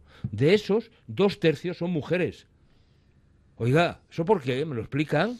Más allá dice, bueno, es que la pensión individual, no, no, no, cogiendo todas las pensiones. razones para eso, ¿no? Bueno, pues Pero- hombre, seguramente es que tra- Seguramente la trabajan no sea, no, es que como es mujer la vamos a discriminar no, y tal. no, No, tiene que ver con el razones origen. para Tiene eso. que ver con el origen. Claro, pero Con el vamos- origen y su vamos a empezar a incorporación. ver Todas las mujeres que se jubilen a partir de los años, de las mujeres que empezaran a trabajar a finales de los 80 o principios de los 90. Ya verás como, como eso, eso que tú estás diciendo, las, las pensiones dan un giro bastante interesante, Claro. porque es cuando se produce una gran incorporación de la mujer al, al trabajo, ¿no? Pero fijaos, yo estoy de acuerdo en lo que dice José Luis. trabajo Antonio, asalariado. as- Al trabajo asalariado. Sí. Eh, yo estoy de acuerdo en que la mujer tiene que gozar de los mismos derechos de los cuales gozamos los, hombres, pero eh, lo que no estoy de acuerdo es en aquello de hacer eh, listas correderas o eh, consejos correderas, lo que sea. Yo creo que hay, hay que llegar, independientemente del número de mujeres u hombres que haya, tienen que llegar los que tengan más valía. por mérito y capacidad. Totalmente y las mujeres Pero tienen también hay que ayudar. la política Sí, sí, igualitarista también va muy buena. Sí, pero- pero- digo, la sí, estoy de acuerdo. Estoy de acuerdo, José Luis, Lo que te pero- dice es que eso, pero eh, hacer- si no se pega un empujoncito, eh, no Sí, es no se chucha, hace, pero sin caer en los partidos ¿eh? políticos aquí en Nah, España, o lo que hizo Zapatero, metiendo listas cremalleras y a personas de ambos sexos con calzador, eso no tiene sentido Eso alguno, tiene porque eso, lejos, Es de, lejos de mujer. dignificar y ayudar, lo que está haciendo es perjudicar. Sí. Bueno, a mí me gustaría saber cuál es la diferencia entre hacerlo así a cremallera, todo uno, uno, uno, uno, varón, mujer, varón, mujer, varón, mujer, o empujar un poquito. La diferencia es solo de grado, es que uno no tiene que empujar No, nada, las tiene cosas que tienen que ver- ser de manera tiene que ver- tiene que ver con campañas, tiene que ver con sensibilización, tiene que ver con que realmente se reconozca la valía de la mujer, que no se le pida a la mujer un plus adicional por ser madre en un momento determinado. Y hombre, y cuando uno ve que hay mujeres que son súper valiosas, tú miras las- el número de titulados universitarias que hay, que prácticamente es más que, más que varones, Más que y al final, cuando tú ves que los trabajos a veces peor remunerados en este país están ejerciendo las mujeres, dices, oiga, qué desperdicio de talento, ¿no? Es decir, ¿por qué una mujer que, que es licenciada, que, es, que ha hecho tropecientos máster, que tiene unas capacidades increíbles, es decir, no llega a un alto cargo en un consejo de administración? Hombre, puedo pues seguramente porque sobre ella, sobre ella, no, estadísticamente, ¿eh? sobre ella recae una serie de condiciones que no caen sobre el Y hombre. no conocemos muchos hombres con muchos másters que tampoco llegan a ninguna cosa y están trabajando en el Lo bar de esquina o están fácil, desempleados. lo Más tienen más fácil, hombre, fácil. tú mira cuántas personas hay, los, cuánto, qué número de hombres hay en los consejos de Grandes administración de del abogados, IBEX mira el porcentaje está. de socios y de socias, Socias. con un talento espectacular Increíble. de mujeres abogadas que son buenísimas. Es que lo forzamos, No, pues, intervenimos, obligamos porque- a que las mujeres... porque no se remueven los No, obstáculos pero- para pero genera- promocionar a la no, mujer. pero generamos de posibilidades cristal. para que puedan acceder. Claro. Porque, hombre, pero es que ¿qué a mí se me significa hace- generamos posibilidades? ¿Generamos ¿Cómo que posibilidades o generamos? intervenimos artificialmente No, nadie- en las cosas no, para que sean de una manera generamos artificial? opo- generamos oportunidades, no intervenimos. No, no, no hacemos un decreto y decimos, por el narices, tiene que haber una mujer y un hombre, El una mujer y un despacho- hombre. El despacho genera que hay que dar- oportunidad hay para que- que, la mujer eh, eh, lo haga si quiere, pero- pero, pero- pero, ¿quién más va a generar oportunidades? ¿El Estado? No, espera, espera, vamos a Pero intervenir. no es el Estado. despacho, es que si dice- obligar a Pero tiene que ver, tiene que ver con la cultura, tiene que ver con la dedicación, tiene que ver con el, el concepto que tú tienes de persona, tiene que ver con muchas cosas, tiene que ver con los roles, familia, con los rol roles que han venido a- asumiendo. de- Voy a, perdón, voy a claro, sacar entonces de raíz lo que estáis diciendo. ¿Quién dice que es culturalmente mejor que haya más número de mujeres en los despachos de abogados? ¿De dónde sale si esa nadie está diciendo, no nadie está diciendo que Sí, sea mejor o peor. dicen un empujón, Bueno, porque es que hay que aplicar y políticas por de la igualdad. parte y por la ¿De parte y por la parte contraria de dónde sale que sea mejor que haya mayor número de hombres Lo que sale mejor es que las cosas se den de manera natural. bueno pero de vez en cuando la para eso hay que ayudarle. unos años, por ¿eh? ejemplo el parto es un hecho natural pero de vez en cuando hay que hacer una cesárea para que el niño y la madre salgan adelante. Pues de vez en cuando hay que hacer alguna intervención para que las cosas salgan. Y eso no es, cuando ir hay en contra de la naturaleza. No cuando se aplica una política Pues tú- igualdad. sino acaba- cuando- tú acabas de decir la palabra adecuada, injusticia. Exacto, pero es que injusticia, Injusticia. no es que haya más hombres o más mujeres Vamos, en un no, sitio o en otro. injusticia o sea, es que no tengan la facilidad de acceder ejemplo las mujeres a los mismos puestos que los hombres. Una empresa química. ¿eh? Empresa química. Entonces resulta que en los procesos de selección las mujeres iban pasando, tan, tan, tan, y cuando llegaban a la entrevista personal, ¡pum! No pasaba ninguna. Curioso. Al final demandamos y, y se vio claramente que había una, una animadversión de que no entrasen a determinados puestos en esa empresa de mujeres. Y lo tuvimos que ganar por sentencia. Y a partir de ahí ¿eh? ya empiezan a haber mujeres y no hay ningún tipo de problemas. de eso- Hombre, es que era muy sospechoso, ¿eh? que pasasen las pruebas, pam, pam, pam, y cuando llegaban a la parte subjetiva, que era la entrevista, no pasaba ninguna. Y dice, oiga, Es que cuando no se cree en la empresa privada, esto es lo que sucede. Se demanda privada, y se. ¿eh? Era una empresa privada, Exacto, ¿eh? Porque tú no crees en la empresa privada. No, o sea, no, si la empresa que- privada que le no da la gana de solo, de solo contratar hombres, pues lo hace. Si le da la gana de solo contratar mujeres, pues lo hace. ¿Por qué no? Si es una empresa porque hay, privada. porque hay un, un- porque si tú lo que abres es un proceso de selección, no lo abras entonces. Y contrata a quien te la gana. No, pero si abres un proceso ¿sabes de selección, estás haciendo trampa ¿Por- en el proceso. ¿Por qué los intervencionistas habéis dañado la empresa privada diciendo es que es ilegal hacer eso? Mira. Lo es que debería ver, ser Paul. completamente legal que Paul, dijeran si- solo hay proceso de Si selección me para dejas hombres, hacerle una solo pregunta, para mujeres. aquí tenemos a, a un sindicalista magnífico, José Luis Fernández Santillana, de, de un sindicato muy serio y muy decente, como es la Unión Sindical Obrera. No, no, te lo he dicho siempre y tú y yo nos conocemos hace muchos años y sabes que lo he sostenido siempre en la radio, en la tele y por escrito. Eh, tenemos a un sindicalista, yo le voy a formular una pregunta y tenemos a un empresario. Vamos a ver, eh, se habla de la brecha salarial entre los hombres y las mujeres. A igual desempeño de responsabilidad profesional, diferentes salarios, en función de si el profesional es un hombre o una mujer. Yo he de deciros al empresario, a, Paco Trejo y al sindicalista, yo trabajando eh, desde los 19 años en prensa, en medios de comunicación. En mi experiencia personal jamás he encontrado a una mujer, a una mujer que desempeñase el mismo cargo que un varón, la misma responsabilidad y con la misma categoría profesional y laboral que un varón, que cobrase menos. Esta es mi experiencia personal. Sé que esto sucede por, por, por- por la Unión Sindical Obrera y otros informes sindicales. Pero bueno, ¿cómo es posible?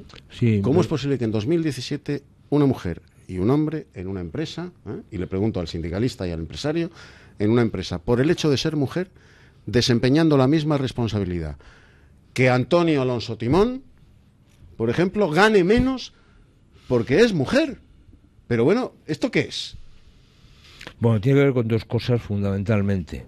Eh, una, a veces eh, los tipos de jornada, que van, o sea, que decir, es habitual que la mujer haga una jornada parcial y eso ya implica una, una, una bajada, aun teniendo un cargo de la misma responsabilidad desde el punto de vista formal. Otra cuestión es, digamos, las tareas o los cargos eh, que, o ese plus adicional que viene por el ejercicio de un cargo determinado, que a veces ese cargo lo representa un hombre eh, y no la mujer, siendo el mismo puesto de trabajo, ¿no? Es decir, pues si hay un jefe de equipo, suele ser un jefe, no una jefa de equipo, ¿eh? y eso implica un plus adicional de salario. Y eso es fundamentalmente por donde se va abriendo la brecha. Es decir, la brecha, lo, lo que suele pasar es que, en, digamos, a la entrada al puesto de trabajo, al, al inicio de, de- de la relación laboral, la brecha es muy estrechita, no hay brecha. Pero según va pasando el tiempo, la brecha empieza a abrirse. Primero, por periodos de excedencia de la mujer por la situación de maternidad y, por tanto, genera habitualmente menos antigüedad ¿eh? en el puesto. Es decir, es decir, una serie de factores que hace que, según va pasando el tiempo, puestos, cargos de responsabilidad que están mejor pagados o con una mayor remuneración, con un plus adicional, los acaba desempeñando el hombre y no la mujer. Y eso hace que la brecha se vaya abriendo a lo largo del tiempo. Es decir, legalmente desde el punto de vista de la legalidad no hay brecha salarial, es decir, cualquier convenio colectivo recoge el mismo salario para el hombre que para la mujer, porque eso, vamos, si no, sería lógicamente una cuestión, vamos, nos va a salir los trámites de legalidad. Lo que pasa es que por la vía de los hechos, es decir, por vía de excedencias, por vía de per- menores periodos de cotización, por el, estar o no en puestos que tiene un determinado plus de responsabilidad y luego también tiene que ver mucho con el tipo de jornada que se realiza, es lo que acaba haciendo que esa brecha salarial exista. Acabas de poner el dedo en la llaga. Paco. Eh, yo, yo tengo experiencia en bueno pues en el sector de las energías renovables, concretamente en biomasa, y ahí el, el 99% de los empleados que teníamos eran hombres, pero eran por las condiciones eh, laborales, porque era estar todo, día, todo el día en el monte, todo el día en maquinaria y todo el día en una planta haciendo una serie. Pero en tema de comunicación yo tengo que decir que lo mismo gana una- un chico o un señor que una señora. Pero José Luis acaba de dar en, en la llaga, acaba de poner el dedo en la llaga y son los, los momentos de, de bajas o de o, o las diferentes etapas laborales por las cuales pasa la mujer. No, no, no tenemos que olvidar que la mujer es la que garantiza, si se me permite de alguna forma, es la continuidad de la vida. Claro. ¿eh? La continuidad de la vida. Entonces tiene que tiene que pasar una serie de etapas de la vida pues fuera del trabajo porque tiene que, cuidar a los niños y demás. Entonces bueno pues eso es lo que genera y genera animadversión en algunos empresarios a la hora de contratar porque yo yo recuerdo eh, mis inicios laborales eh, yo estaba de secretario general en una fundación y recuerdo en mi vida pasé tanta vergüenza como aquel día al gerente de la fundación preguntando a, a una de las personas que se iba a contratar, que al final se contrató. Y, las preguntas eran, ¿cuándo tienes pensado casarte? ¿Cuándo te vas a, quedar embarazada? Y dije, Dios mío. Eso, Esto ha sido así. Yo dije, y yo dije para mí, yo dije para mí. Luis, ¿eso es lo que tú quieres para tu hija? Que está en una de las mejores universidades eh, de Madrid, que le hagan eso en el futuro. Eh, con eso es con lo que hay que terminar. Con eso es con lo que hay que terminar, porque al final tú no puedes decidir eh, si cuándo se va a quedar embarazada a una, a una persona que vas a Pero contratar. re- va a recordáis- contratar, porque, porque esa misma pregunta tú no se la haces a un tío.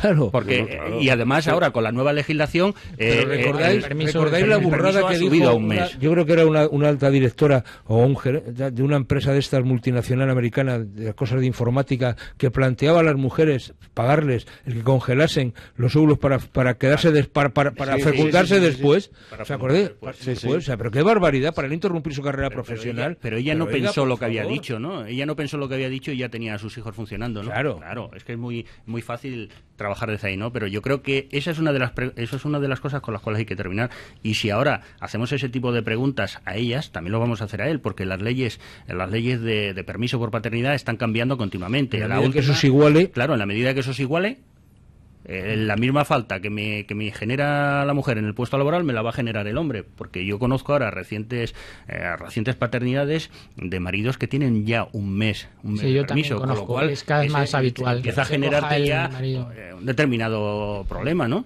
Otra cosa es que desde el punto de la conveniencia del empresario, y aquí vamos a decir todas las cosas, no te pueda convenir en un momento determinado que contrates a, a una mujer en este caso y que a los, do- a los dos días te diga estoy embarazada y tengo la baja. Pero eso son otro otro tipo de cuestiones y ahí no puedes no puedes entrar a, a valorar, ¿no? O eso es como cuando te llega alguien y te y te, te oculta una enfermedad y a partir del segundo mes tienes una baja de 10 meses por enfermedad. Pero con, contra eso no se puede. Fíjate, hoy he no escuchado puede un dato con el tema este ya que estamos. O sea, si realmente las mujeres dejasen de, de hoy, digamos, todas las mujeres que están trabajando dejasen de hacerlo, pues prácticamente perderíamos más del 50% de la riqueza generada en ese día en el país, ¿no? Decía, oiga, a ver si somos un poco Fíjate, conscientes. fíjate, José Luis, y con la incorporación de la mujer al trabajo hemos perdido todo eso y mucho más con respecto a la educación y a la inculcación de valores en, nuestra, en nuestros niños. y en nuestros Gracias, don. Francisco, por esa aportación. La apoyo 100%.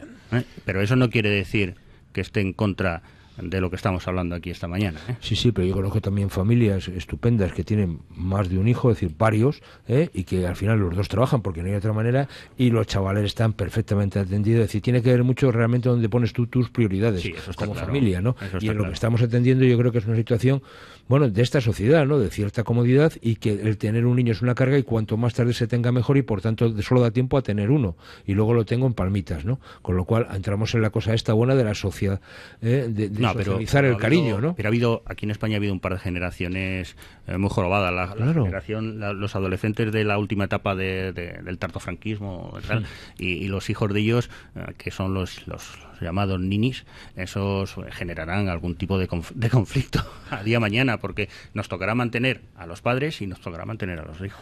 Yo, yo desde el punto de vista profesional mío lo que veo en las clases es que las chicas, las mujeres tienen un talento extraordinario, son además súper constantes, trabajadoras Muy y, y luego meticulosas. llegan, eh, su, su carrera profesional en algunos casos es muy brillante y por eso yo creo, y estoy de acuerdo en eso, Paul, yo no estoy de acuerdo con las políticas de discriminación positiva, pero sí que es verdad, porque además creo que el problema de la igualdad no solo lo puede solucionar el Estado con determinadas medidas, pero ayuda, porque eh, va más allá, como se habla aquí en la mesa, que es algo cultural, es decir, el Estado puede promover y dar el empujoncito, pero luego en la mayoría de los casos Esas mujeres no triunfan profesionalmente porque el rol que asumen familiarmente les impide en buena medida ese, eh, ese triunfo profesional y las limitaciones las tienen más de puertas hacia adentro que de puertas hacia afuera. Pero en cualquier caso yo creo que los empujoncitos que está, se están dando en los últimos años en la igualdad eh, entre hombres y mujeres están ayudando a que las mujeres sean conscientes de que ellas también tienen derecho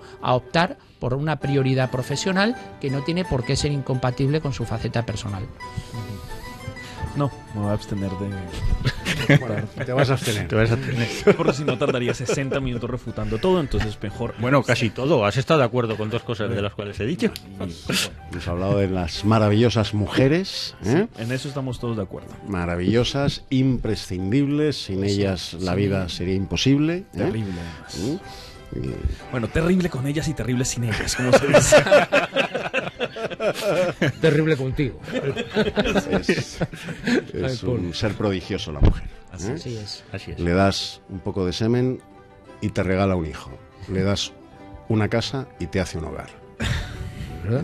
Es, es, Oye, es prodigioso. muy bonito, ¿eh? Eso Es- es- la eso mujer es que es, el ser más prodigioso de la creación. Sí, es increíble. O sea, es- Pero eso me gustaría decirlo todos los días y no esta ridiculez de Día de la Hombre, Mujer. algunos lo decimos hay todos los días, pero de vez en cuando decir, vamos a ver, vamos a ver, tú vives todos los días, pero a que te gusta que el día de tu cumpleaños te feliciten. ¿Por qué no hay Día del Hombre? ¿Por qué no hay Día del Blanco? ¿Por qué no hay Día del Macho? O sea, Porque ¿por qué los esa hombres somos más discriminación? prescindibles. Nos tenemos que ir a El publicidad. 19 de marzo, el día del hombre. Publicidad y volvemos.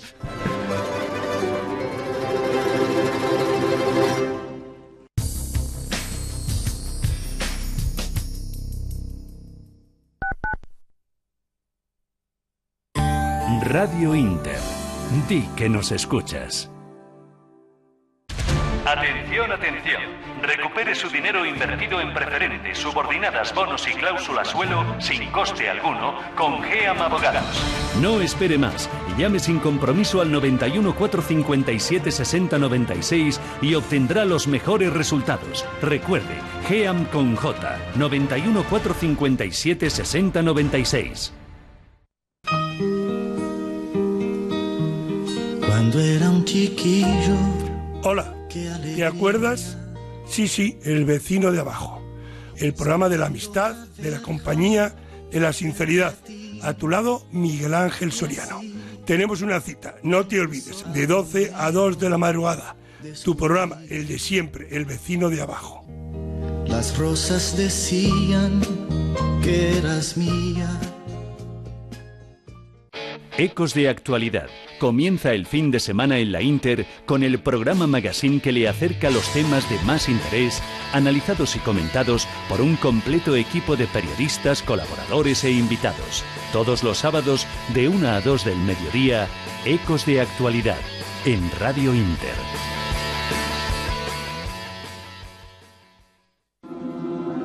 Si ignoras lo que ocurrió antes de que nacieras, siempre serás un niño.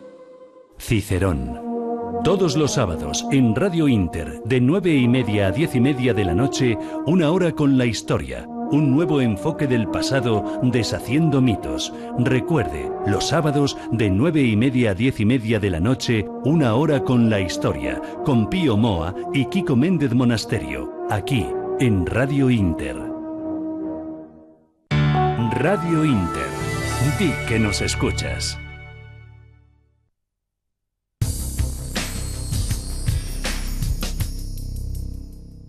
No hablamos de buscarle el inquilino, hablamos de solucionarle los problemas con él. ¿Está usted seguro que su contrato de alquiler le protege convenientemente? ¿Tiene problemas de impago de rentas? ¿Alguna vez ha tenido conflicto por ver quién, si inquilino o propietario, tenía que pagar determinados arreglos de la vivienda? ¿Tiene problemas con la comunidad de vecinos? ¿Le han puesto una demanda o la quiere poner usted? ¿Sí? Pues llame a Legal Lifeline 902 80 8108 y contrate con estos abogados el producto protección al alquiler. Por solo 98 euros al año, menos de 8 euros al mes, tendrá a su disposición un abogado las 24 horas del día.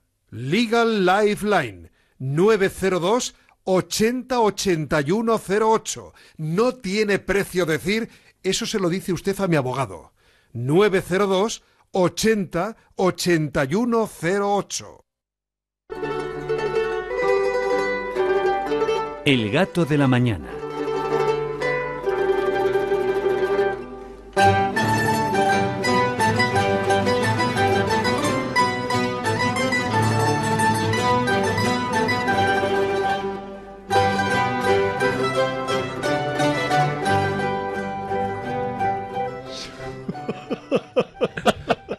Estaban ustedes oyendo a Paul Victoria.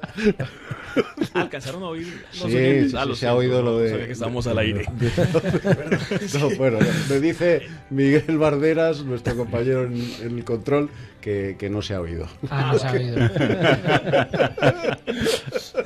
Más- Más te vale que no se haya oído. Ya lo, lo políticamente incorrecto ya me sale de todos los poros de mi cuerpo. No me digas. Haces bien, haces Tienes poros ya. Bueno, pues eh, ayer el Parlamento de Cataluña, que no escarmienta, y no escarmienta porque no hay nadie que le haga escarmentar. ¿eh? Ese es el problema. He ahí la cuestión, ¿eh? que diría Shakespeare. ¿eh? He ahí la cuestión. ¿Por qué no escarmienta el Parlamento de Cataluña? ¿Por qué no escarmienta la Generalitat Catalana? Porque nadie le hace escarmentar. Estamos ya hartos, hartos de eh, las sentencias, recomendaciones, directivas del Tribunal Constitucional, del Tribunal Supremo, toda la reata de dirigentes independentistas catalanes están ahora mismo sentados en el banquillo de los acusados, Mas, Oms, Irene Rigau, Joana Ortega y eh, sus subalternos están pasando por los banquillos de los acusados del Supremo, de la Audiencia, de la Fiscalía, de- y siguen R que R. El Parlamento aprobó ayer, eh, bueno, pues eh, la tramitación express, ¿m? o sea, rápidamente, de las leyes de ruptura, de lo que ellos llaman, con ese eufemismo, de desconexión mm, de España, ¿m? para romper definitivamente con España. Y no pasa nada, oiga, no pasa nada. ¿m? Si pasa, se le saluda. ¿Qué, ¿Qué ha respondido el gobierno? ¿Mm? Pues la, la menina de Rajoy, eh, Soraya Sáenz de Santa María, a la que le han puesto una habitación con vistas a los Balcanes en, en la delegación del gobierno de Barcelona, ¿eh?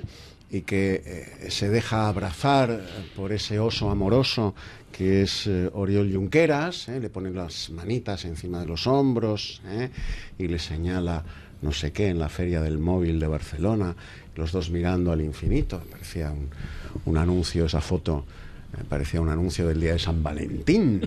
¿eh? Parecieran los amantes de Teruel, ¿no? Una cosa, el, el- el oso Junqueras abrazando a, a la, a la princesa Soraya Sáenz de Santa María. Bueno, pues eh, Soraya Sáenz de Santa María ha respondido esto. Yo les voy a poner el corte para que vean ustedes en qué dinámica sigue el gobierno de la nación frente al desafío separatista, apelando a la ley, a la democracia.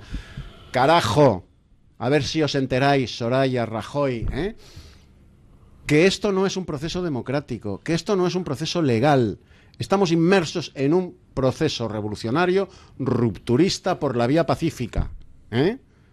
Por la vía pacífica porque vosotros os negáis a poner, ya es hora de decirlo, joder, los huevos encima de la mesa y decir hasta aquí hemos llegado, coño, se acabó. Y desenfundar el 155, se acabó. Ni un día más. Y enviar a los funcionarios del Gobierno de la Nación pertinentes a Barcelona con un- una cartita del Tribunal Supremo, el Tribunal Constitucional, del Gobierno de la Nación, del Consejo de Estado, eso nos lo explicará Antonio Alonso Timón. No, no hace falta ni siquiera nada. Pertinentemente, dice, abandone usted el despacho, señor conseller, abandone el despacho. A partir de este momento se hace cargo de eh, este segmento de la Administración que usted gestiona el Gobierno de la Nación Española. Fuera. Ya está. ¿Que hay lío? ¿Una semana? Bueno, pues hay lío. ¿Dos semanas? Bueno, pues hay lío. ¿Tres semanas? Y a la cuarta semana se acabó el lío. Se acabó el lío, pero como no quiero líos, pues ahí está Soraya. La legitimación de todo este proceso brilla por su ausencia y cada vez más es más, más eh, controvertido y más eh, criticado por el conjunto de las instituciones. Yo llamo a la reflexión, no van a ningún sitio por mucho que corran y el problema es que están corriendo, pero lo que están dejando es a Cataluña y a los problemas de los catalanes detrás. Bueno, pues. No, pero esto, estamos. esto nos, lo soluciona el Tribunal Constitucional. Claro, hombre, claro. Sí, claro, eso es lo fácil, ¿no? Eso es lo que ha pedido el mismo presidente al gobierno, no a la 2014, oposición. eh, hemos pasado 2014, 2015, 2016, 2017 y seguimos igual. Entonces esto nos lo soluciona ya en dos días el Tribunal Constitucional. Yo estoy tranquilo porque, porque vas tranquilo ya a casa. eh, le están haciendo mucho caso. Además están ya en todos los procesos. Además en estos procesos es- en los que están imputados estos señores se les han quitado los delitos que conllevan pena de prisión, como es malversación de caudales públicos. Con lo cual en los procesos lo máximo que les puede pasar es que les castiguen una semanita sin postre cosas de estas, inhabilitación, muy bien, inhabilitación, algunos ya están inhabilitados eh, eh, porque no desempeñan, en es- de hecho, en este momento cargos públicos, como puede ser el señor Mas. Yo ya estoy harto de decir que hay que aplicar el 155. Creo que llevamos un año y medio diciendo que hay que aplicar el 155. Creo que las medidas del diálogo tienen un límite. Cuando se apela a la democracia, precisamente para defender la democracia, hay que aplicar el 155, porque lo que no se está de- defendiendo aquí es la democracia. Estos señores están por la vía de los hechos. Decías tú que esto es una, eh, un proceso de independencia pacífico. No, es un proceso de independencia por la vía de los hechos. Y la única forma en que Cataluña tiene, eh, la única forma que tiene Cataluña para acceder a la independencia es precisamente la inacción del Estado, que es lo que está sucediendo en este caso. No hay otra solución. La aplicación del artículo 155 no requiere una autorización previa ni del Tribunal Constitucional ni del Tribunal Supremo. Lo único que requiere es un acuerdo del Consejo de Ministros que tiene que ser refrendado por mayoría absoluta del Senado previo requerimiento a la comunidad autónoma eh, concerniente, previo requerimiento, que requerimiento al señor Puigdemont. Y en el caso de que no atienda ese requerimiento el señor Puigdemont, pues eh, simplemente se aplica el 155 con, en todo su esplendor, que no significa llevar los tanques, pasear los tanques por el Paseo de Gracia ni por la diagonal, significa simplemente es una medida de sustitución de las autoridades catalanas por el gobierno central. Sí, Nada eso, más. perdón, eso le iba a decir. Dice usted que eh, eh, esto iba a generar un lío de eh, una semana, dos semanas. No creo que llegase a una semana, porque la gente luego tiene que volver a casa, tiene que cenar, tiene que comer, tiene que desayunar. Y cuando las cosas se encauzan y cuando ya se está viendo que lo sensato es esto, porque lo insensato, vamos a ver, es que la medida que se adopta ayer es simplemente desconocer incluso las propias instituciones catalanas. Es que se están se está yendo hasta en contra del propio Parlamento catalán, se está quitando el debate en el propio Parlamento catalán. Se está intentando llevar a cabo la desconexión a hurtadillas, o sea, es un ataque frontal al Estado de Derecho y cuando hay un ataque frontal al Estado de Derecho, el Estado de Derecho tiene los mecanismos suficientes para reaccionar y para defenderse, porque en eso consiste precisamente la democracia. La democracia consiste en el respeto al Estado de Derecho y eso es lo que no está sucediendo ahora mismo en Cataluña, con lo cual el gobierno tiene una legitimación más que suficiente para adoptar medidas un poquito más quirúrgicas de las que se han adoptado hasta ahora. Yo entiendo que se ha adoptado por la que se ha ido por la vía preventiva y hasta cierto punto puedo estar de acuerdo con el gobierno en el que de primeras no utilizase el 155, que se intentase la pastillita, el ibuprofeno, el nolotil, el, el, el- lo- el cualquier- usted en la cualquier dosis. cosita, Paracetamol. dosis. Pero es que en este momento eso se ha visto que no tiene ningún efecto beneficioso para la salud democrática de este país y que hay que tomar medidas más quirúrgicas, que hay que meter ya el bisturí. Es un momento además muy adecuado porque si el gobierno tiene eh, dificultades para tomar esta decisión cuando ha tenido mayoría absoluta y la, puede la podía haber tomado en la legislatura anterior, ahora tiene el consenso político, o debería tener el consenso político suficiente en el Parlamento como para no verse abandonado a su suerte, sino que la decisión se tome con una gran base Base. de legitimación democrática en el Parlamento Nacional. Y tarde o temprano lo van a tener que adoptar. Pero si es que si lo adoptan más antes que tarde o más temprano que tarde, pues nos evitaremos muchos más follones. José Luis Fernández Santiago. No, seguramente, es decir. Pero vamos, yo, dos cosas. Es decir, yo creo que lo que se ha aprobado ayer todavía no es eso. Es decir, es como siempre, estos amagan. ¿Eh? Eh, digo, amagan. Sí, ahora tienen que retorcer. Claro, un una poquito más, un poquito más. Lo digo porque en el fondo a mí me parece que lo que están anunciando es un autogolpe de Estado. ¿eh? Así, a sus propias instituciones, quiere Claro. decirte que esto es pegar una pata en las narices al propio Parlamento, es pegar una pata, una pata en las narices a esa Comisión de Garantías Estatutarias que les ha dicho, oiga, esa partida, por ejemplo, que ustedes han puesto... Están yendo en ¿eh? contra de sus propias Claro, instituciones. decir, cosas que han puesto ellos y además por unanimidad. Es decir, que no son las instituciones del Estado español opresor, no, no, las propias instituciones catalanas que dicen, oiga, ustedes aquí están metiendo la patita.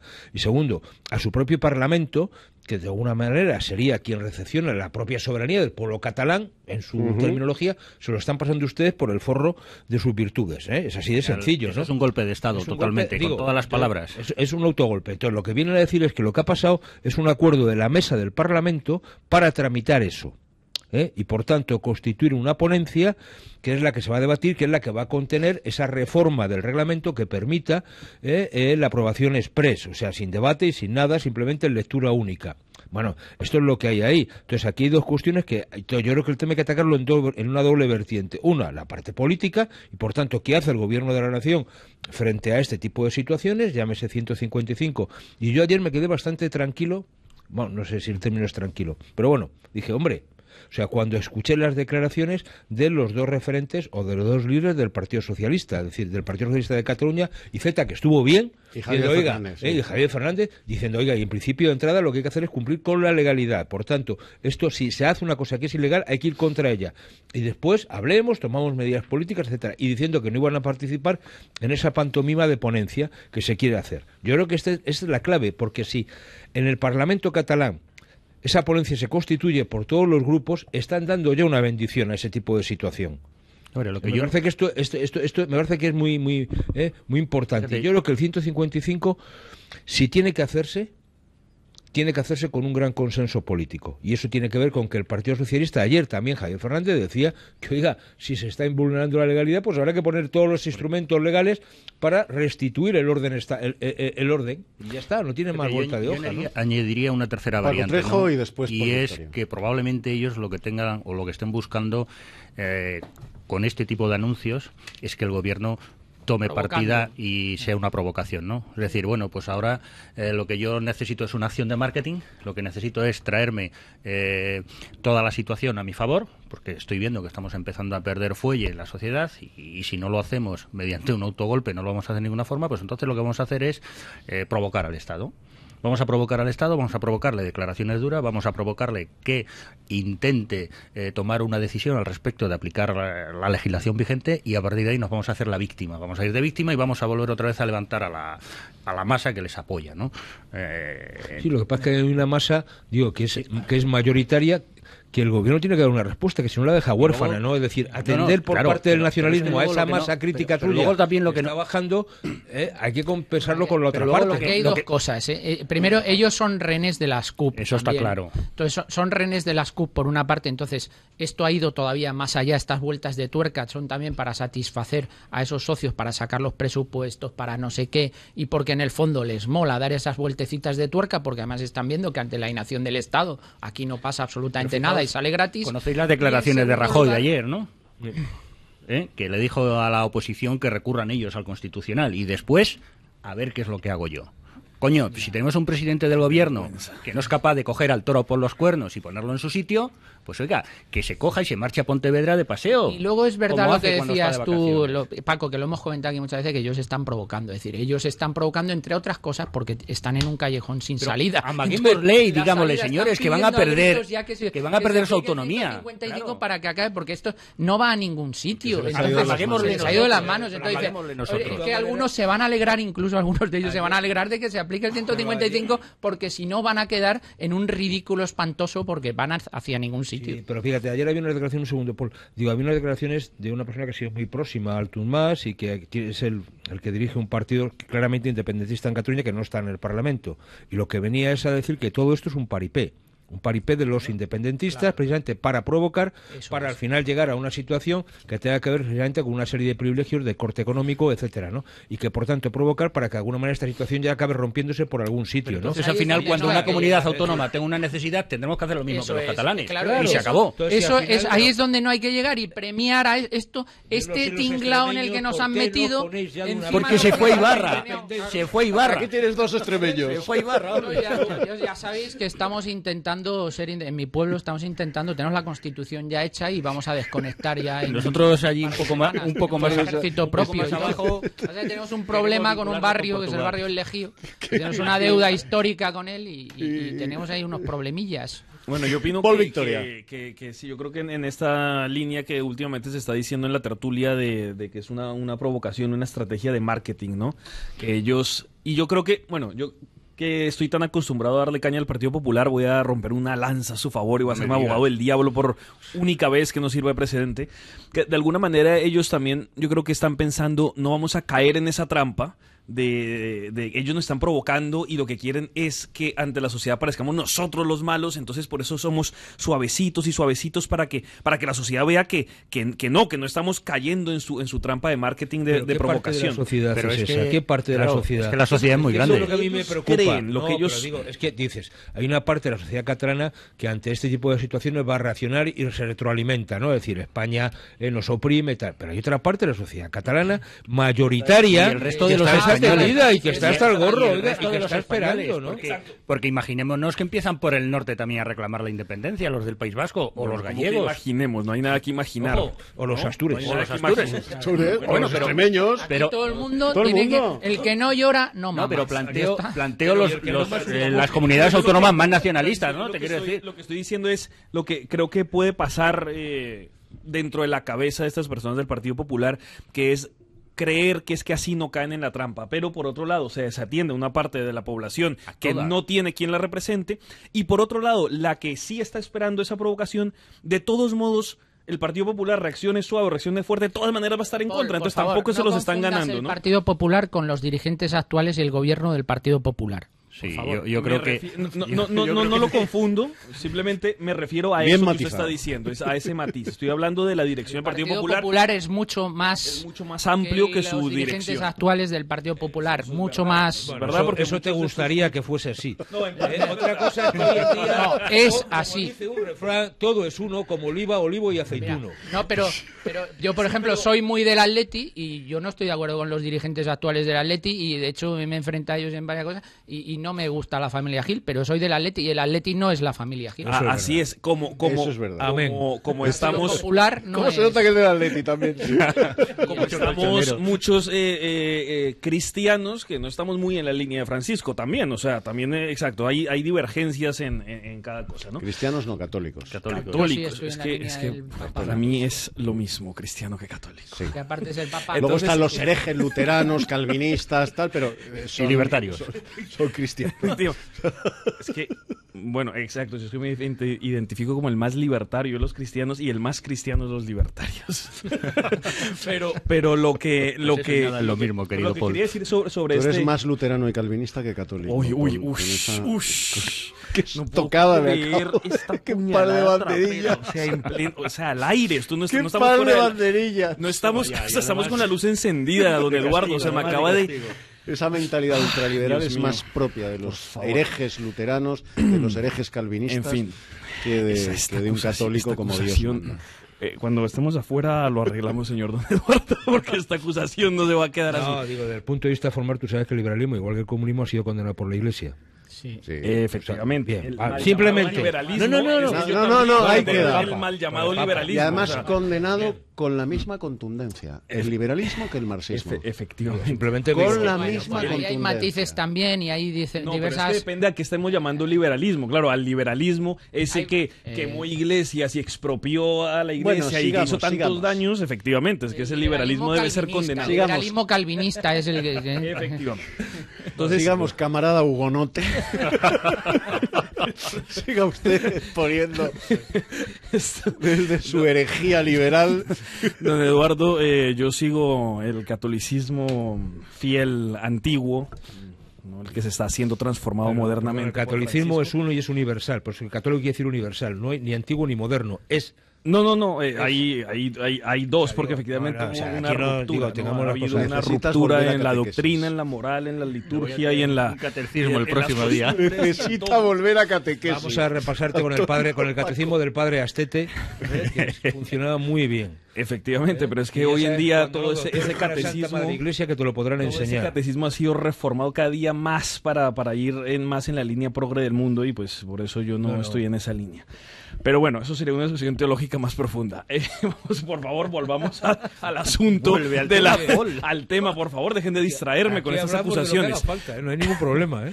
Eh, sobre, sobre la, la política, eh, eh, yo creo que, que, eh, estaba tratando de excusar eh, dentro de su mente a, la- Al a la. Dirigencia del Partido Popular, porque efectivamente hay muchos militantes y votantes del de Partido Popular que no estarían de acuerdo con, con la dirección, igual y solo había puesto el ejemplo, igual que yo no estoy de acuerdo con muchas de las cosas que está haciendo Francisco, ¿no? Pero, y, y eso no es, o sea, Francisco no es la iglesia, la dirección del Partido Popular no es el Partido Popular, y en ese sentido acepto la matización del, profesor Antonio y ya, lo dejo allí. Ahora, lo del 155 es que al principio quería intervenir para que a los oyentes aclararles qué era lo del 155, porque el tiempo se, se dice y aplicar el 155 y entonces parece o podría parecer que fuera a aplicar que, que hay un revólver que se llama el 155, que hay un calibre o que hay un, ¿no? un Smith Wesson, una cosa así y no hay que explicar bien qué es el artículo 155, lo que implica y todo eso, pues digo, por, por si acaso algunos pueden ser confundidos con eso, ¿no? Que no, no se Sí, está... nuestros oyentes, mira, tenemos el- lo bueno que tiene Intereconomía es que el nivel de los oyentes de Intereconomía es bastante alto. Entonces, nuestros oyentes, la mayoría sí que saben lo que es el 155 y lo que implica el definir tú hace un 155. Pero bueno, se lo podemos explicar detenidamente, lo podemos leer aquí incluso la literalidad del texto y además el 155 es lo suficientemente abierto, deliberadamente abierto para que se puedan optar desde las medidas más drásticas hasta las medidas más melifluas. Vamos a publicidad, volvemos y se ha terminado eh, nuestro hugonote de, de los, de los miércoles. Eh, tomará la palabra eh, pues un católico extremeño como Dios eh, y eh, Hernán Cortés mandan. Tú ¿eh? tienes un fallo, tienes una falla, que no eres del Atlético, o sea, católico, extremeño y del. Atleti ya es Pero la tríada. Y tú de Cáceres. Me falta ser extremeño, ¿ves? Pero mejor a mi favor, porque Cáceres ya sabes que es más Castilla, entonces eh, Castilla eso es lo mejor que ha habido en la historia de la humanidad, Castilla. Bueno, pero Hernán Cortés nació en la provincia de Badajoz. Medellín, Bueno, ¿no? Medellín, sí, sí. Pizarro en la provincia de Cáceres. Sí, sí, Trujillo. Trujillo, ¿eh? sí, sí. O sea, Ambos me da lo grandes, mismo. ambos grandes. Bueno, pero los extremeños son Pero- lo más grande que pero la- este país. la Roma española se- hizo desde Mérida. La Roma española se construyó desde Mérida. Desde Mérida qué, qué tierra tan maravillosa. Yo se la recomiendo a ustedes para los puentes, para Pues sí. es, Y- es y la gran desconocida ahora de tienen España. un momento excepcional. Bromas aparte, ¿eh? Ahora tienen un momento excepcional. el cerezo en flor. Háganme caso, ahora en el puente o cuando puedan ustedes, vayan a las urdes. Ay, precioso. Van a O caer, Jerte, o a la van Vera. a caer Bueno, yo- deslumbrados. Yo no soy urdes, objetivo porque lo que más me gusta en este mundo es la Vera, pero... Lo del Jerez. Publicidad y volvemos.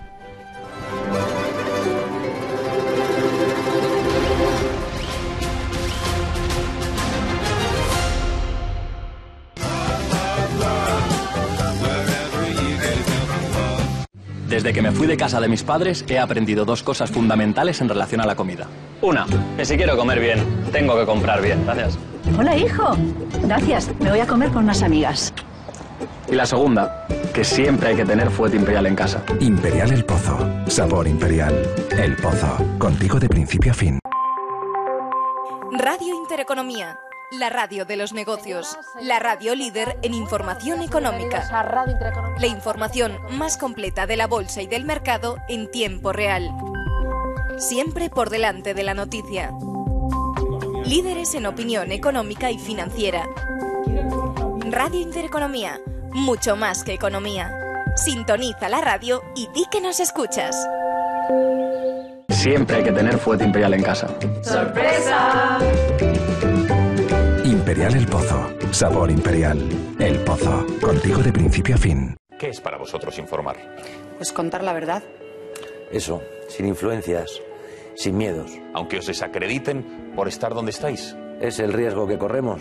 A ti no te han llamado ultra ni insultado por la calle. El problema está en que hasta los políticos quieren que comas de su mano. Y si no lo haces, Hasta luego. ¿Y entonces qué hacemos? Seguir siendo nosotros. Mantener nuestra identidad. Ser intereconomía, al precio que sea.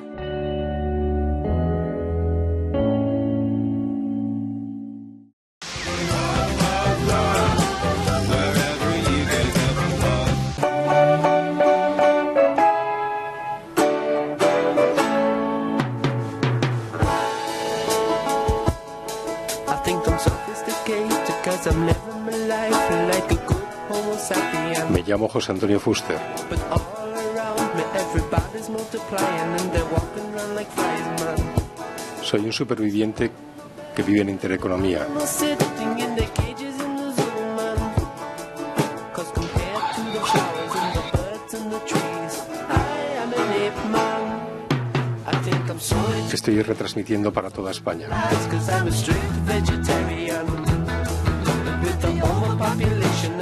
And inflation and starvation and the crazy politicians.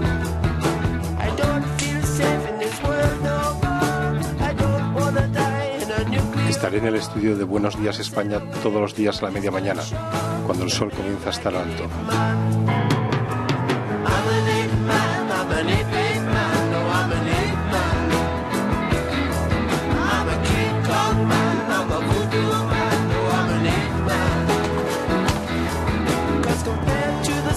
Si hay alguien ahí, quien sea, si hay alguien, si hay algún periodista, puedo proporcionar trabajo, puedo proporcionar seguridad, puedo proporcionar futuro.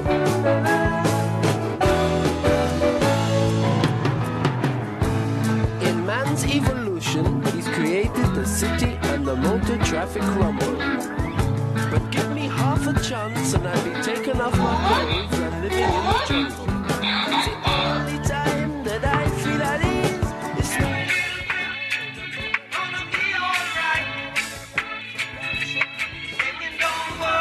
Si hay alguien ahí, quien sea, por favor, no estás solo.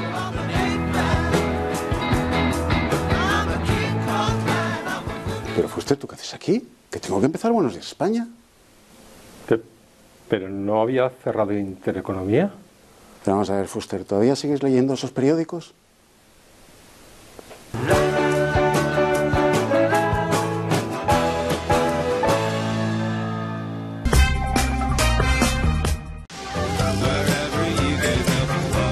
Hay todavía mucha gente que no tiene un puesto de trabajo, son demasiados. Los datos que hemos conocido esta mañana son datos buenos y sobre todo son datos esperanzadores, ¿no? Son buenos. Gracias por nada, con José Antonio Fuster. De lunes a viernes a las 10 menos cuarto. Solo en Intereconomía. ¿Eh? Ah.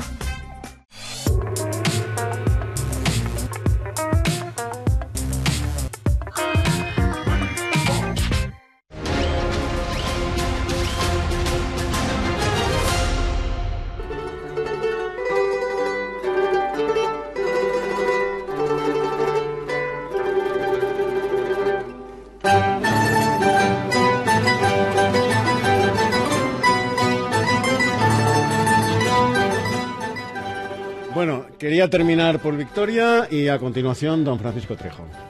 Sí, eh, solo para, para terminar, para aclarar a los contertulios, pero sobre todo a los oyentes, porque los contertulios los doy por perdidos ya. desde hace Pero bueno. Entonces, pero los, los, los oyentes quiero ¿En qué gran enseñarles una tienes? cosa, porque se me han acusado de luterano, no sé qué. Mira, hay una corriente económica que es la herética, que efectivamente es la anglosajona, to- toda a, ra- a raíz de Adam Smith, David Ricardo, eh, Stuart Mill, etcétera. Toda esa corriente, efectivamente, ese liberalismo es condenado por la iglesia, pero luego hay otra corriente que es la católica y que es la correcta y que es la verdadera, que es la que se forja en la escuela de Salamanca en los siglos XVI y XVII, que luego se traslada por a ver la, la- la conexión entre España y el Imperio Austrohúngaro, se traslada a Austria y queda esa semilla porque en España se pierden las cosas y en Austria queda. Y en esa semilla es como en el siglo XIX lo retoma, eh, lo retoma el, fundador de la Escuela Austriaca de Economía, Menger, entonces... Y, lo, y, y, a, y, a, través de allí evoluciona hacia Mises, Hayek, etcétera. Lo que pasa es que pierden la noción de Dios, entonces ese es su fallo. Pero la, la, la, corriente y los y, principios tú, de economía de y de política y filosofía es la de la escuela de Salamanca, o sea la católica, o sea la correcta. Con lo cual, el libertarismo que yo defiendo es sí, pero profundamente con la católico. De la noción de Dios. Pero fíjate que lo que tú acabas claro, de decir, eso estoy en cuanto yo para se pierde, retomar el pero rumbo, cuando se claro. pierde esa noción, de alguna manera, del sentido de la trascendencia, es lo que está cuestionando en Pues el fondo claro. es la naturaleza de la persona humana. Claro. Si es un ser trascendente o no, entraríamos Ya, en pero temas que filosóficos. manti- y pero- por tanto, es decir, la indisoluble, es decir, realidad de la persona, ¿no? Es decir, no solamente tienes que darle de comer el cuerpo, sino también el alma, desde el punto de vista de lo que son las creencias. Pero Pero no te puedes olvidar que los sindicalistas estáis Claro. súper No, preocupados no, por el no, alma, ¿no? Y los No, no, socialistas no, no. están súper preocupados por el Estoy alma. súper preocupado por la persona. Cuando una doctrina económica. Yo también, señor, y Poli, yo también. Cuando una doctrina económica pierde la noción de Dios, o sea, la noción de la trascendencia del hombre, ¿eh? el hombre no es una herramienta, una mera él. herramienta. Pero es que yo estoy Es de un ser eso. trascendente. Para eso estamos dentro del libertarismo, los cristianos vamos corrigiendo, y vamos recuperando Claro. la esencia de la escuela de Salamanca Ya. para que todo en economía y política esté en el rumbo correcto, Claro. que es antisocialista, Claro. porque eso es lo Claro, peor claro, para el ser claro. humano. Hombre, a mí lo que más me gusta, lo que más me gusta de Paul es que nos da esos paseos por la historia, ¿no? pero Y eso está es- muy bien, está muy, está no, no, está sí, muy bien, ¿no? Yo no, estoy diciendo lo contrario, ¿no? Un poquito, un poquito de Yo- cultura yo al año no voy- hace sí. Yo voy a volver, voy a volver atrás, ¿no? A Cataluña. Yo voy a volver a Cataluña, ¿no? Y yo creo que en España hoy por hoy no se debe consentir lo que ocurrió ayer en el Parlamento catalán. Lo primero, porque está tratando de retorcer la, leg- la- la propia legislación catalana, la propia legislación en la que los nacionalistas dicen ampararse para romper con España. Y lo segundo, porque está retorciendo también toda la legislación española. Ahora bien, esto puede traer un problema. Si el gobierno no toma no toma decisiones prontas o rápidas puede traer un problema. Y ya lo comentábamos antes. Es decir, que, por ejemplo, en los vascos, los nacionalistas vascos empiezan a pedir eh, lo mismo los catalanes, que está muy momento, calladito. Que, ver qué que- pasa. que los están manteniendo muy calladito porque está habiendo ahí concesiones pequeñitas. Y porque el PNV sabe cuál es la experiencia claro. que ha tenido Convergencia, que Pero ya no luego- existe. o sea, pueden empezar, empezar por el otro por el otro lado los gallegos. Y, y- y, coño, ¿y por qué no los extremeños en un momento determinado los Sí, andaluces? Es que al final, al final mm, lo que está dando lugar este gobierno pusilánime, pachorro y, y despreocupado es a que cuando una comunidad autónoma eh, tenga un problema, lo reclame vía Cataluña. Y, y eso es muy triste y muy lamentable. Pero lo que no puede ser es lo que hablábamos aquí fuera de antena, es que, que la solución sea, bueno, no aplicamos el 155, pero llegamos al pasteleo. Que yo creo que ya va a ser difícil llegar al pasteleo. Pero ¿el pasteleo qué es? El pasteleo es una nueva reforma del Estatuto de Cataluña lo tienen para desde que- seguir desde que profundizando Soraya tiene en los desde que Soraya vive en Barcelona. Valencia, llegará a Andalucía y dirá, yo quiero la cláusula catalana. Claro. Entonces la cláusula catalana es la igualdad para todo el mundo. Entonces al final el Estado que hace desaparece de facto y Entonces lo siguiente que es al federalismo. y eh, la unidad de caja de la seguridad social, hacemos ejércitos ya en las comunidades autónomas, pues que ya queda muy poquitas Bueno, competencias hecho, que el Estado pueda lo han planteado gestionar. en Cataluña, en la creación de- del ejército. O sea que y la selección de fútbol. divertido. Entonces, lo que no puede ser es que la solución ahora sea que haga- tenga que haber una, una reforma constitucional o una reforma estatutaria para que estos señores que han sido desleales profundamente desleales ve- ve- lleven aparejado unos privilegios porque entre otras cosas eso no serviría absolutamente para nada porque a los tres o a los cuatro años seguirían reclamando las mismas cosas y estaríamos en el mismo parche, proceso con lo cual Ahora lo que hay que hacer es decir, mire usted, ha sido desleal. Entonces vamos a aplicar el 155 y además vamos a aprovechar para decirle usted lo que tenía y lo que ha perdido. Vamos a asumir nosotros estas competencias y cuando demuestre usted la lealtad suficiente, la madurez democrática suficiente para gestionar estas competencias, para que sea usted capaz de resolver los problemas de sus ciudadanos, pagar a sus farmacéuticos, eh, resolver temas de, de- de justicia social, de que no se le mueran los viejecitos Los porque les quitan la luz, para que esté usted pendiente de sus ciudadanos y no de las tonterías de las que ha estado pendiente en los últimos cinco años, entonces le daremos las competencias. Usted tenía esto y ahora no lo tiene. Y no lo tiene porque ha sido usted desleal y no ha sabido gestionar sus propias competencias. Ole mi Antonio. Sí, señor. Ha sido un buen discurso. José Luis. Yo creo que hay dos cosas. Una a raíz de lo que decíamos antes del País Vasco, PNV, etcétera. Si yo creo que el mes de junio es clave. Junio. Junio, sí. Eh, finales de mayo, primeros de Sí. junio. Dos hechos. Uno, la resolución de las primarias del Partido Socialista y el, y el propio Congreso. Y si se aprueban o no los presupuestos. Y con quién se aprueban. Es decir, por tanto, si el PSOE no juega eh, a, a favor, eso quiere decir que hay que contar con el PNV. Y por tanto, estamos hablando de que hay una cuestión muy clara, eh, que es el tema de las competencias en instituciones penitenciarias. Eso es lo que está poniéndose encima de la mesa. Y eso dará, si eso se da, eh, habrá presupuestos eh, con el PNV y le daremos un balón de oxígeno al PSOE para que no tenga que mojarse y vaya con cierta colchoncillo a su Congreso. Y hay que ver en ese Congreso, en esas primarias, si al final la opción Pachi López más Susana, que es la que yo apostaría, eh, porque tienen que sumarse, tienen que sumar más, que de hecho ahora mismo suman más, que la opción Pedro Sánchez. Porque si Pedro Sánchez es el que gana esas primarias, Se acabó el sol. eh, se acabó la situación que estamos. Estamos directamente a elecciones anticipadas, estamos yendo a una situación de hoy hasta saber Y- qué. y falta de a ver, consenso en el propio el- en tema las tomas de catalán cómo se. Claro, resuelve, eh, porque no olvidemos que en Cataluña al final eso puede reventar. Bueno, y este es el tema. Parece que hay que estar especialmente atentos a, esa- a ese tipo de situaciones a finales de mayo, junio, ¿no? Yo tengo Bueno, mis dudas del tema de los presupuestos, ¿no? Porque como todos sabéis, y nuestra audiencia también, tenemos una guerra encarnizada entre Ciudadanos y el Partido Popular a consecuencia de lo que está ocurriendo en Murcia, ¿no? Con el, con el presidente murciano, ¿no? Pero yo creo que hasta que no se les pase la rabieta Hay y mucho postureo, ¿eh? me parece a mí. Ciudadanos. A mí también. Me parece que hay mucho postureo. Sí, hombre, eh, es que tienen que estar, como diría Sofía Mazagatos, tienen que estar en el candelabro. Y la única forma de estar en el candelabro, queriendo decir en el candelero, es eh, jugando a la que están jugando. Y entonces, claro, pero también hay que dar una vuelta, porque si al final, al final se produce la moción de censura en Murcia. Bueno, pero Bueno. pongámonos en un hipotético. Si se le dan al es un peso. poco espabilado, lo que tendría que hacer era disolver y Convocar convocar, elecciones. elecciones. Mira, Paco, si Ciudadanos juega eso, propicia una moción de censura y apoya a un gobierno. Pero salta el pacto nacional. Con Podemos, Ciudadanos se ha pegado un tiro en la sien. No, no, sí, sí, sí, En estoy, estoy no de en acuerdo. el pie, en la sien, sien, totalmente, directamente. totalmente, estoy de acuerdo contigo. También se vería sí, sí. Eh, A nivel nacional se vería, se vería to- O sea, saltaría si- por los aires si el pacto. príncipe entallado, como, le llama con acierto Javier Orcajo, Me encanta. eh, no entiende que el 99,9% de sus votantes son peperos cabreados, peperos cabreados, algún socialista. que no le van a tolerar que pacte con Podemos y con el PSOE para Sí, sí, pero desbancar. ellos ya se van a reunir mañana o pasado. Si no entiende eso, Van a hablar, ¿eh? Si no entiende eso, es que no entiende nada. No, pero es que tampoco respeta la legislación. Nada. tampoco respeta la legislación vigente. Pero Hay es una ley muy ido- clara. Se les ha ido la pinza. Es decir, primero, o sea, lo que tienen que hacer es que no se les caliente la boca. Es decir, más allá de que yo creo que otros, ni a ¿eh? otro, yo creo que el presidente de Murcia es un bocazas y Totalmente. a partir de ahí por bocazas tendría que coger y marchar simplemente por bocazas, So- ¿eh? solo por Este bocazas. tipo de historias. Ahora, a partir de ahí, Ciudadanos lo tiene que ser un poco más prudente, esperar a que declare si se archiva la causa o no se archiva y en función de eso actuar y exigir el Parece cumplimiento del sensato acuerdo. lo José Luis. razonable, ¿no? Oiga, porque todavía no sabemos, el fiscal no está manteniendo ningún tipo de acusación, la fiscalía, aunque el juez parece ser que sí.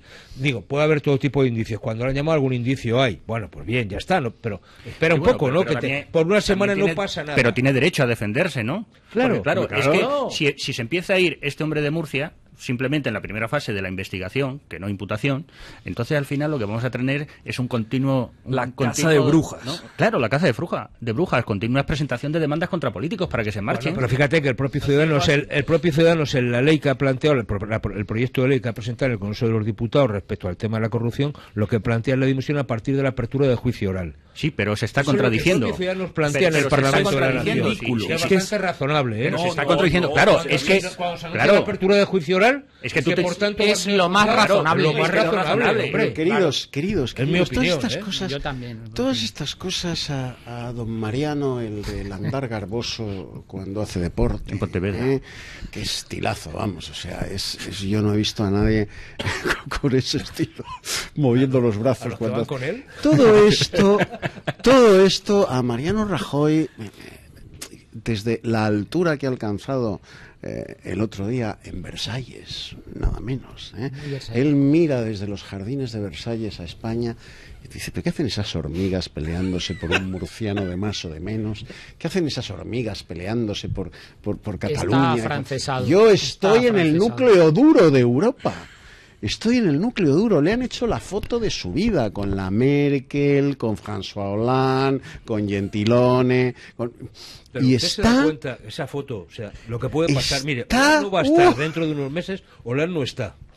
Rajoy vayamos a ver qué pasa. Es decir, si hay elecciones o luego lo que estábamos comentando antes. El italiano, ah, quién sabe, eso siempre son interinos. Van, van tres ya, ya van tres. Con lo cual la única que puede quedar ahí es la Merkel. La Merkel. Cuatro.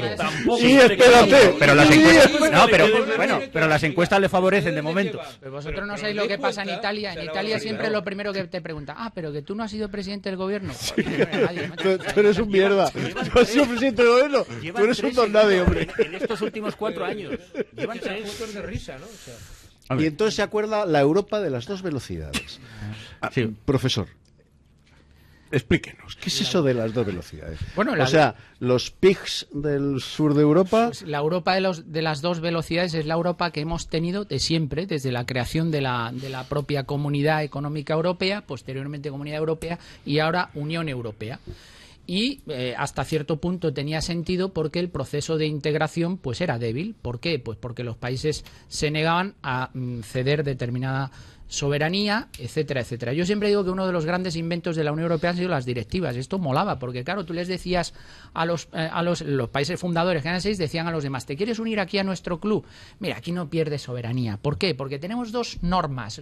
Tenemos aquí un soft law, pero luego tenemos normas de hard law, pero muy también casi son soft law, porque tenemos unos reglamentos que sí, son de aplicación directa, pero tenemos una cosa que se llaman directivas, que esto es de aplicación indirecta, porque tú tienes que desarrollarlas internamente, entonces tú las desarrollas. Y efectivamente las primeras directivas eran unas directivas muy genéricas que daban mucho margen de desarrollo a los estados, pero luego al final, claro, eh, como todo proceso de integración europea, cuando se va eh, solidificando y cuando va cogiendo fuerza, las directivas ya no son tan ya no son tan inocentes, las directivas tienen un grado de detalle tal que hasta el Tribunal de Justicia de la Unión Europea dice, "No, no, las directivas si el Estado no las transpone y además no las transpone como las tiene que transponer son de aplicación directa y entonces evidentemente el derecho comunitario ha prevalecido sobre el derecho nacional, el principio de prevalencia total. Bueno, La mira las sentencias que hemos tenido últimamente, Un poco crítico, profesor Antonio. No, no, no soy crítico. Voy, quiero llegar al momento actual y explicar un poco el proceso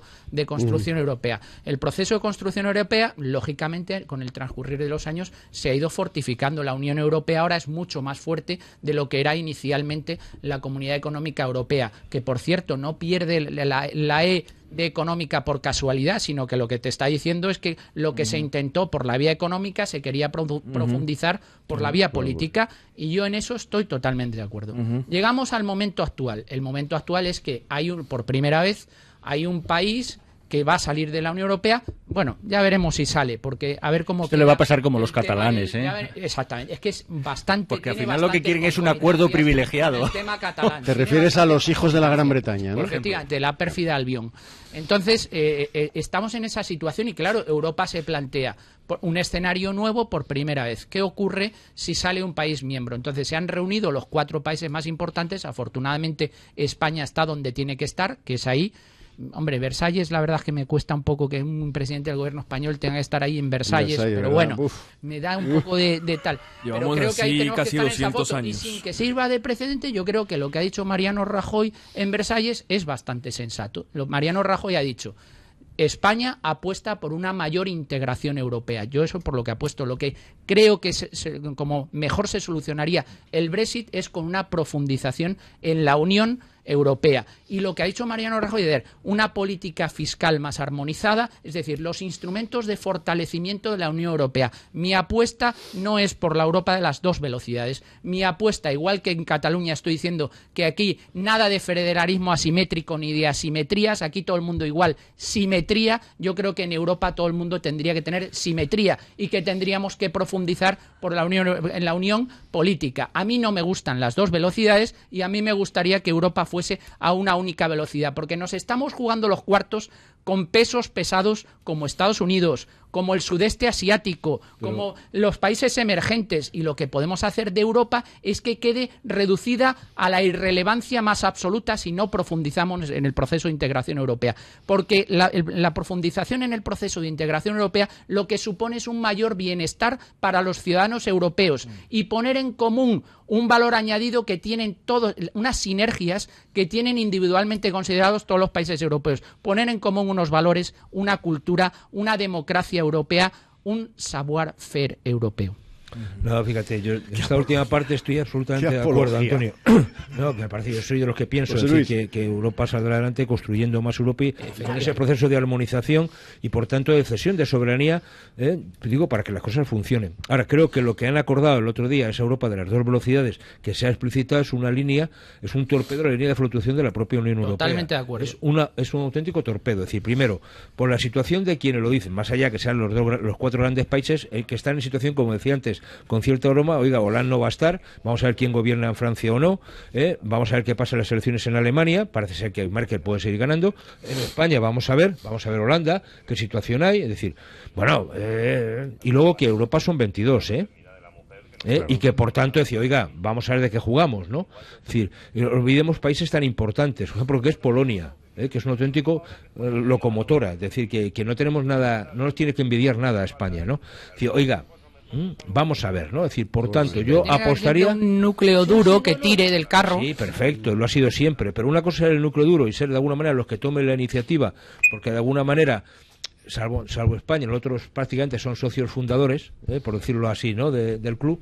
Pero bueno, eh, esto no tiene sentido, ¿no? Es decir, sobre todo pensando en los procesos electorales que se van a vivir, ¿eh?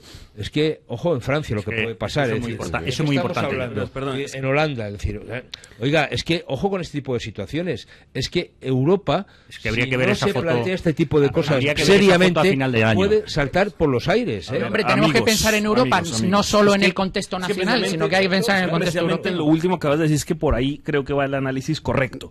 Eh, Resumamos, Paul, Sí. que nos queda poco Vale, tiempo. es que, y- es que si, si, Rajoy dice eso como representante de España es porque él no tiene ese problema interno en España. Pero es que los otros, es que qué pasa, qué está pasando en Francia, qué está pasando en Alemania, qué está pasando en Holanda. O sea, están cogiendo fuerza los antieuropeos, con lo cual es que eso, esos, no, no es que ellos crean en la, en la Europa de las dos velocidades, sino que se ven forzados a decirlo para que haya un poco de flexibilidad para calmar a los rebeldes que están siendo oprimidos por el totalitarismo europeo. Entonces les toca plantear dos velocidades para que, oye, no se sientan tan oprimidos, tranquilos, entonces así irlos calmando. Y España no tiene ese problema porque no tiene ninguna fuerza política nacional que sea euroescéptica, que sea euro batalladora, ¿no? Salvo yo y quién más queda A mí- y a mí- a mí don me Eduardo Serrano y ustedes también don Francisco usted está en el club o no usted hace parte de No, no, no, tú eh, escucha ahora el, discurso. O sea, Paco. a mí, me, a mí me, me es muy curioso que ahora volvamos a la, a la Europa de las dos de las dos velocidades, como, como decían el no, no, no, pero que ahora acepten el discurso de la Europa de las dos velocidades cuando siempre hemos sido contrario, ¿no? Pero yo creo que, que Europa está condenada a muerte. Europa está condenada a muerte porque la única La Unión Europea. la Unión Europea. La Unión Europea está Europa condenada. es mucho más Es mucho la más Unión grande Europea. que la Unión Europea. La Unión Europea está condenada a muerte porque Rusia la única viabilidad que tiene la Unión Europea es la, la cesión de soberanía. Y yo, vista la foto de Rajoy, Merkel, Hollande y el italiano, no creo que estén por la, ra- por la labor ni los franceses ni los alemanes de ceder soberanía. Y luego, para mí la, la foto buena no es la del otro día. Para mí la foto buena será a final de año o principio del año 2018, cuando veamos cómo realmente queda Europa tras los procesos electorales tan importantes que van empezando en el mes de abril en Francia, que terminan en Holanda, Austria y, y demás países, y probablemente en España. Y entonces ahí sí que nos podremos a- empezar a hacer un concepto de por dónde va a ir la, la Unión Europea. Mientras tanto, yo creo que es, bueno, pues hay que hablar, hay que comentar las cosas como están, hay que pero mientras tanto yo creo que es eh, dar palos eh, al de ciego. Eh, Miguel, ¿vamos a publicidad? Pues venga, a publicidad y, y vamos ya por los últimos minutos de, de la tertulia.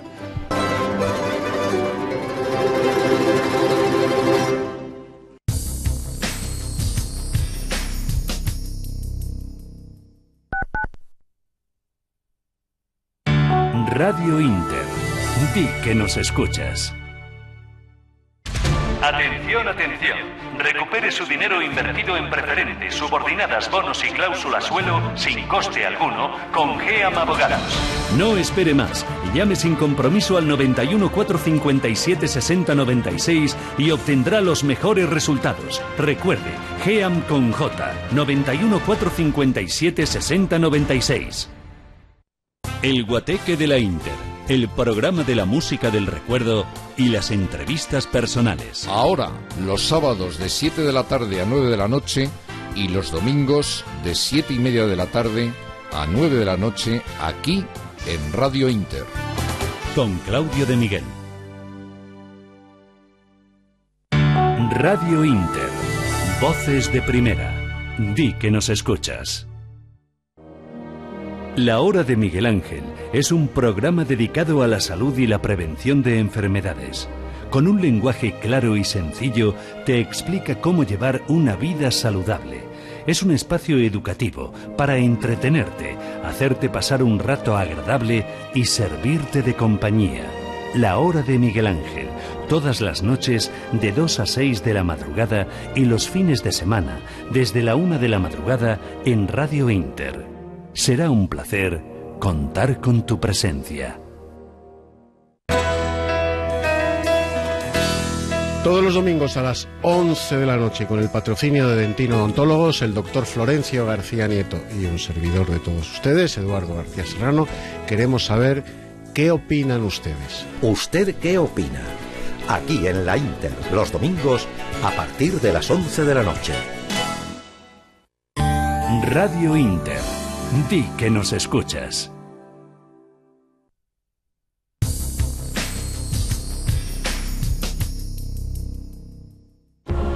Cuida tu corazón, cuida tu vida. Doctor Tormo. El consumo diario de 250 miligramos de ácidos grasos omega 3, EPA y DHA se recomienda como parte de un estilo de vida saludable y una dieta equilibrada, ya que ayudan a mantener una buena salud cardiovascular. Cuore en caja blanca son ácidos grasos omega 3 con un alto contenido EPA, DHA y DPA. Laboratorios Anroch Pharma. Consultas 91 499 1531. Los clientes de Parafarmacia Mundo Natural están realmente satisfechos. Por el asesoramiento profesional que reciben en nuestras tiendas. Porque encuentran todos los productos recomendados por el doctor Pérez León o cualquier otro que necesiten. Y porque les ofrecemos muy buenos precios. Estamos en Alcalá 129, Metro Príncipe de Vergara. Fernando el Católico 2, Metro Quevedo. Por teléfono en el 91 446 0000. 91 446 0000. Y en parafarmaciamundonatural.es las 24 horas del día. Este verano se espera la llegada masiva a España de turistas extranjeros, lo que provocará la escasez de plazas hoteleras en nuestras costas e islas para el turismo nacional. Que nadie te quite tu verano. Reserva ya tus vacaciones con toda la garantía y confianza de viajes el corte inglés. Costas, Islas Canarias, Baleares, turismo rural, con el mejor precio garantizado. Pago en tres meses, grandes descuentos, niños gratis. Reserva ya en viajes el corte inglés.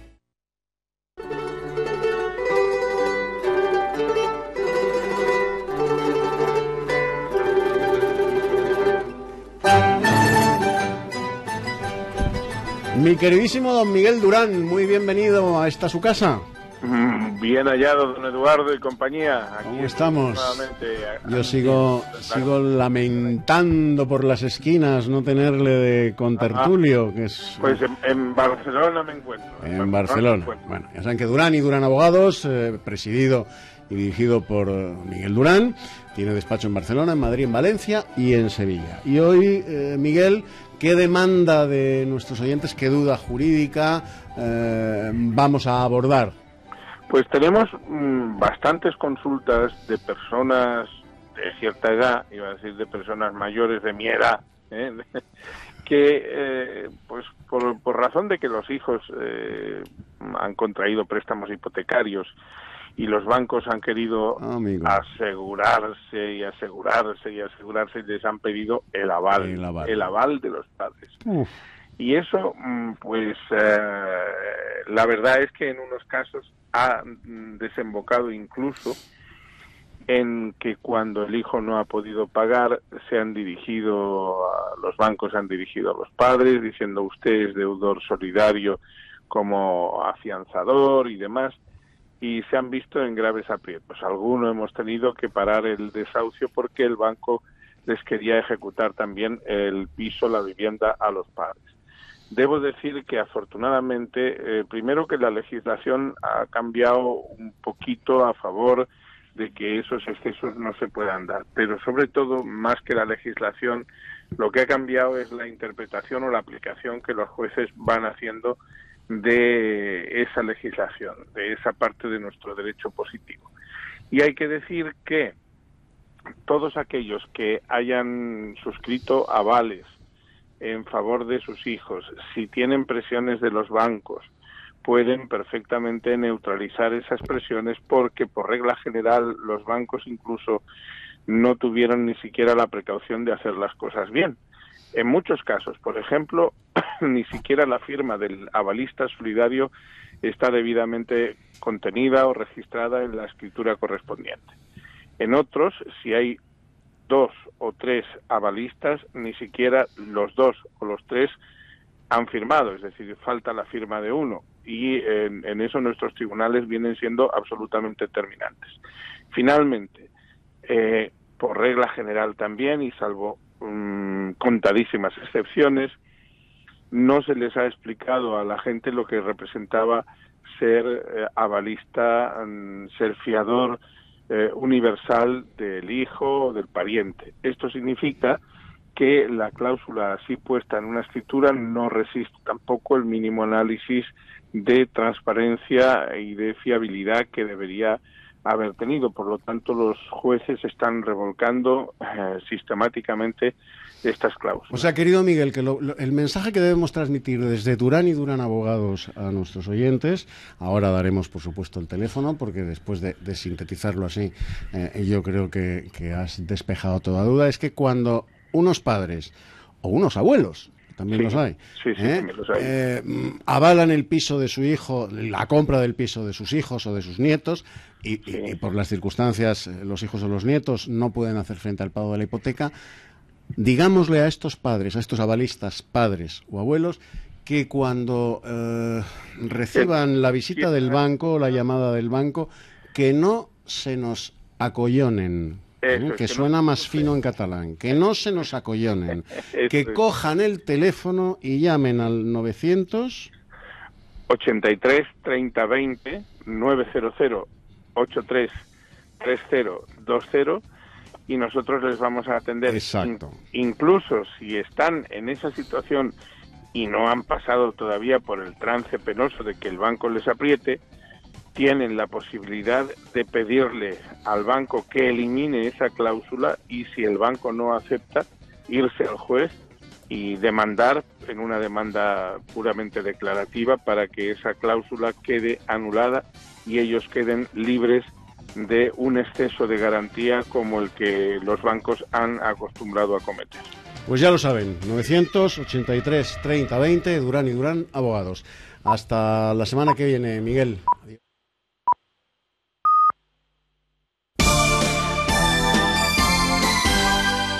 Radio Inter. Servicios informativos.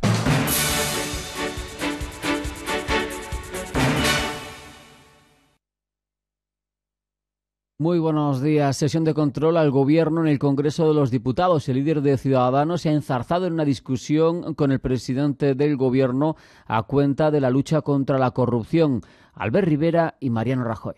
Debo decirle que hasta que pronunciamos la palabra corrupción, todo va bien. ¿Cuál es el problema?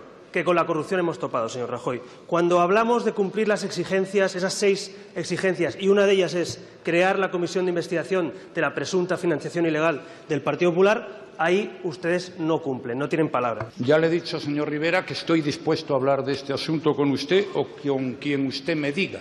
Pero también eh, me gustaría decirle que creo que lo positivo sería que mirásemos hacia el futuro, porque si miramos demasiado hacia el pasado puede pasar como la mujer de Lot. ¿Se acuerda usted? Quedó convertida en estatua de sal. Hay que recordar a cuenta de corrupción y de ciudadanos que la formación naranja se reúne este miércoles con el PSOE en Murcia para tratar de buscar una alternativa al gobierno que preside todavía Pedro Antonio Sánchez después de que se haya roto ese pacto que permitió la investidura del político popular y después de su negativa a dimitir tras verse imputado, investigado en el caso auditorio. Este 8 de marzo, por otro lado, se conmemora el Día de la Mujer Trabajadora. En Capital Intereconomía ha estado la secretaria general de COE, Ana Plaza, quien ha defendido que la igualdad de sexos en la empresa no beneficia solo a la mujer. Creemos sinceramente que la igualdad es un factor de competitividad para la empresa y que no se puede prescindir con ello. Ahora, mm, hay que oír otras voces. Tiene, eh, eh, creo que esto es un problema de todos, que no solamente es, eh, tenemos, necesitamos una unidad de acción donde estén presentes tanto las empresas como los gobiernos, la administración pública y la sociedad en general. También miramos hacia el exterior, hacia las medidas que ha asumido desde que tomó posesión el presidente de Estados Unidos, Donald Trump. El de la Cámara de Comercio Americana en España, Jaime Malet, en Antena 3, ha pedido que estas medidas se miren con frialdad y con perspectiva. Dice, vamos a expulsar eh, emigrantes sin papeles. Esto suena fatal, pero la Unión Europea hace cuatro días dijo que iba a expulsar un millón de sin papeles de Europa eh, y Obama eh, sacó de Estados Unidos durante ocho años dos millones y medio de sin papeles. ¿no? Entonces, yo pienso que una cosa es cómo nos suena todo y luego hay que entender la ratio, la realidad de las cosas, por qué son y luego qué buenamente se va a poder hacer. La información de los mercados en tiempo real. Prácticamente sin cambios está ahora mismo la bolsa, el selectivo apenas sube 5 centésimas, se va hasta 9.806 puntos, mientras en las pantallas de XTV vemos caídas para el crudo. El Brent abajo un 0,57%, está en 55,61 dólares. El West Texas desciende un 0,81, se coloca en 52,71 dólares en la información de la bolsa, como siempre, nos la acerca Ángeles Lozano. Ángeles, muy buenos días. Hola, ¿qué tal? Muy buenos días. Parece que tenemos por delante otra jornada de movimientos estrechos, otra jornada lateral en la que los inversores se mueven con muchísima cautela y a la espera de que mañana jueves se pronuncie el presidente del BCE, Mario Draghi, en la reunión habitual de la entidad central. No se esperan grandes novedades, pero en cualquier caso, las palabras de Draghi son eh, siempre muy preciadas eh, por el mercado y tendrá que hablar sobre la inflación que está en niveles del 2%, es decir, en línea con el objetivo del BCE y decir si va a mantener la política de estímulos económicos hasta mm, donde estaba previsto. El IBEX 35 eh, está prácticamente repitiendo el nivel de cierre de ayer, mantiene la cota de 9.800 puntos, movimientos muy estrechos también para el MIPTEL italiano, el FTC de Londres y el DAX Cetra germano. El CAC 40 de París es el único que muestra una tendencia algo más clara.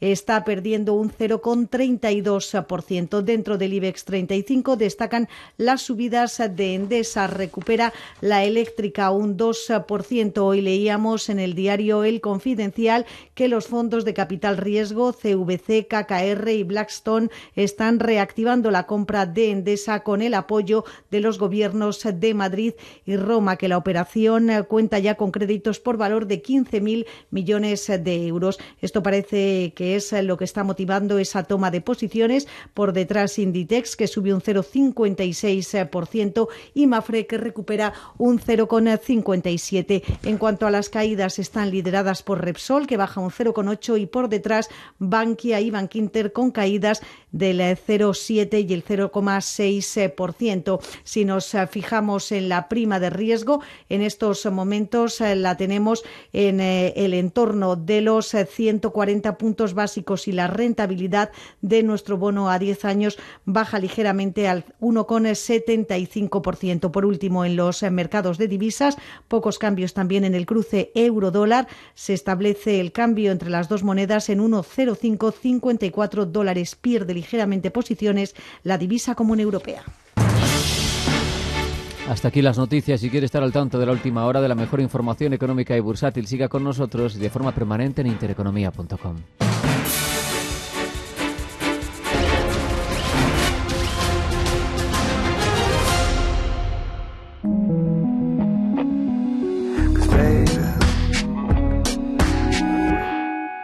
¿Pero de verdad todavía no has vendido tu casa? Yo soy la solución. Yo tengo la única palabra que quieres escuchar. Vendido, vendido, vendido. Si no la vendes es porque no quieres. Ya está a la venta mi nuevo libro. En él te cuento todos los secretos de mi éxito como emprendedor. Llámame o ven a verme. Soy Eduardo Molet. Oye muchacha, ¿a dónde nos vamos? Viaje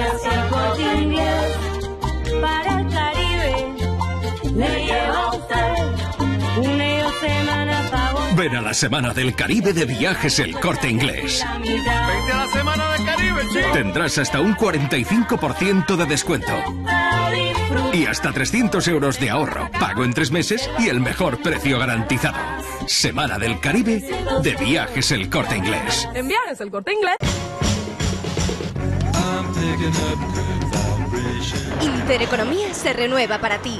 Más cine en las tardes de Intereconomía. Más información a las ocho y media de la tarde. Una hora de noticias con Beatriz Rojo y Eduardo García Serrano. Toda la actualidad y el mejor análisis. Más cultura.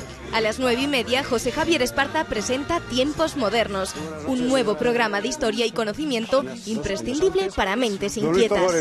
Más humor. De lunes a viernes a las 10 menos cuarto, José Antonio Fuster y su Gracias por Nada para esa visión particular de la jornada. Gracias por nada.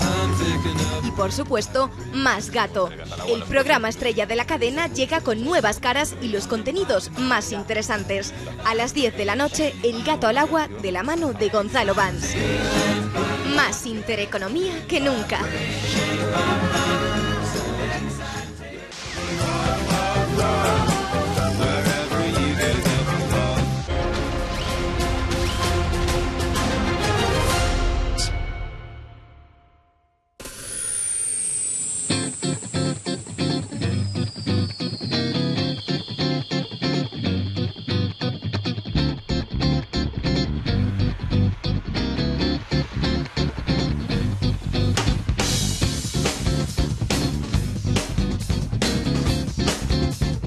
Buenos días, España.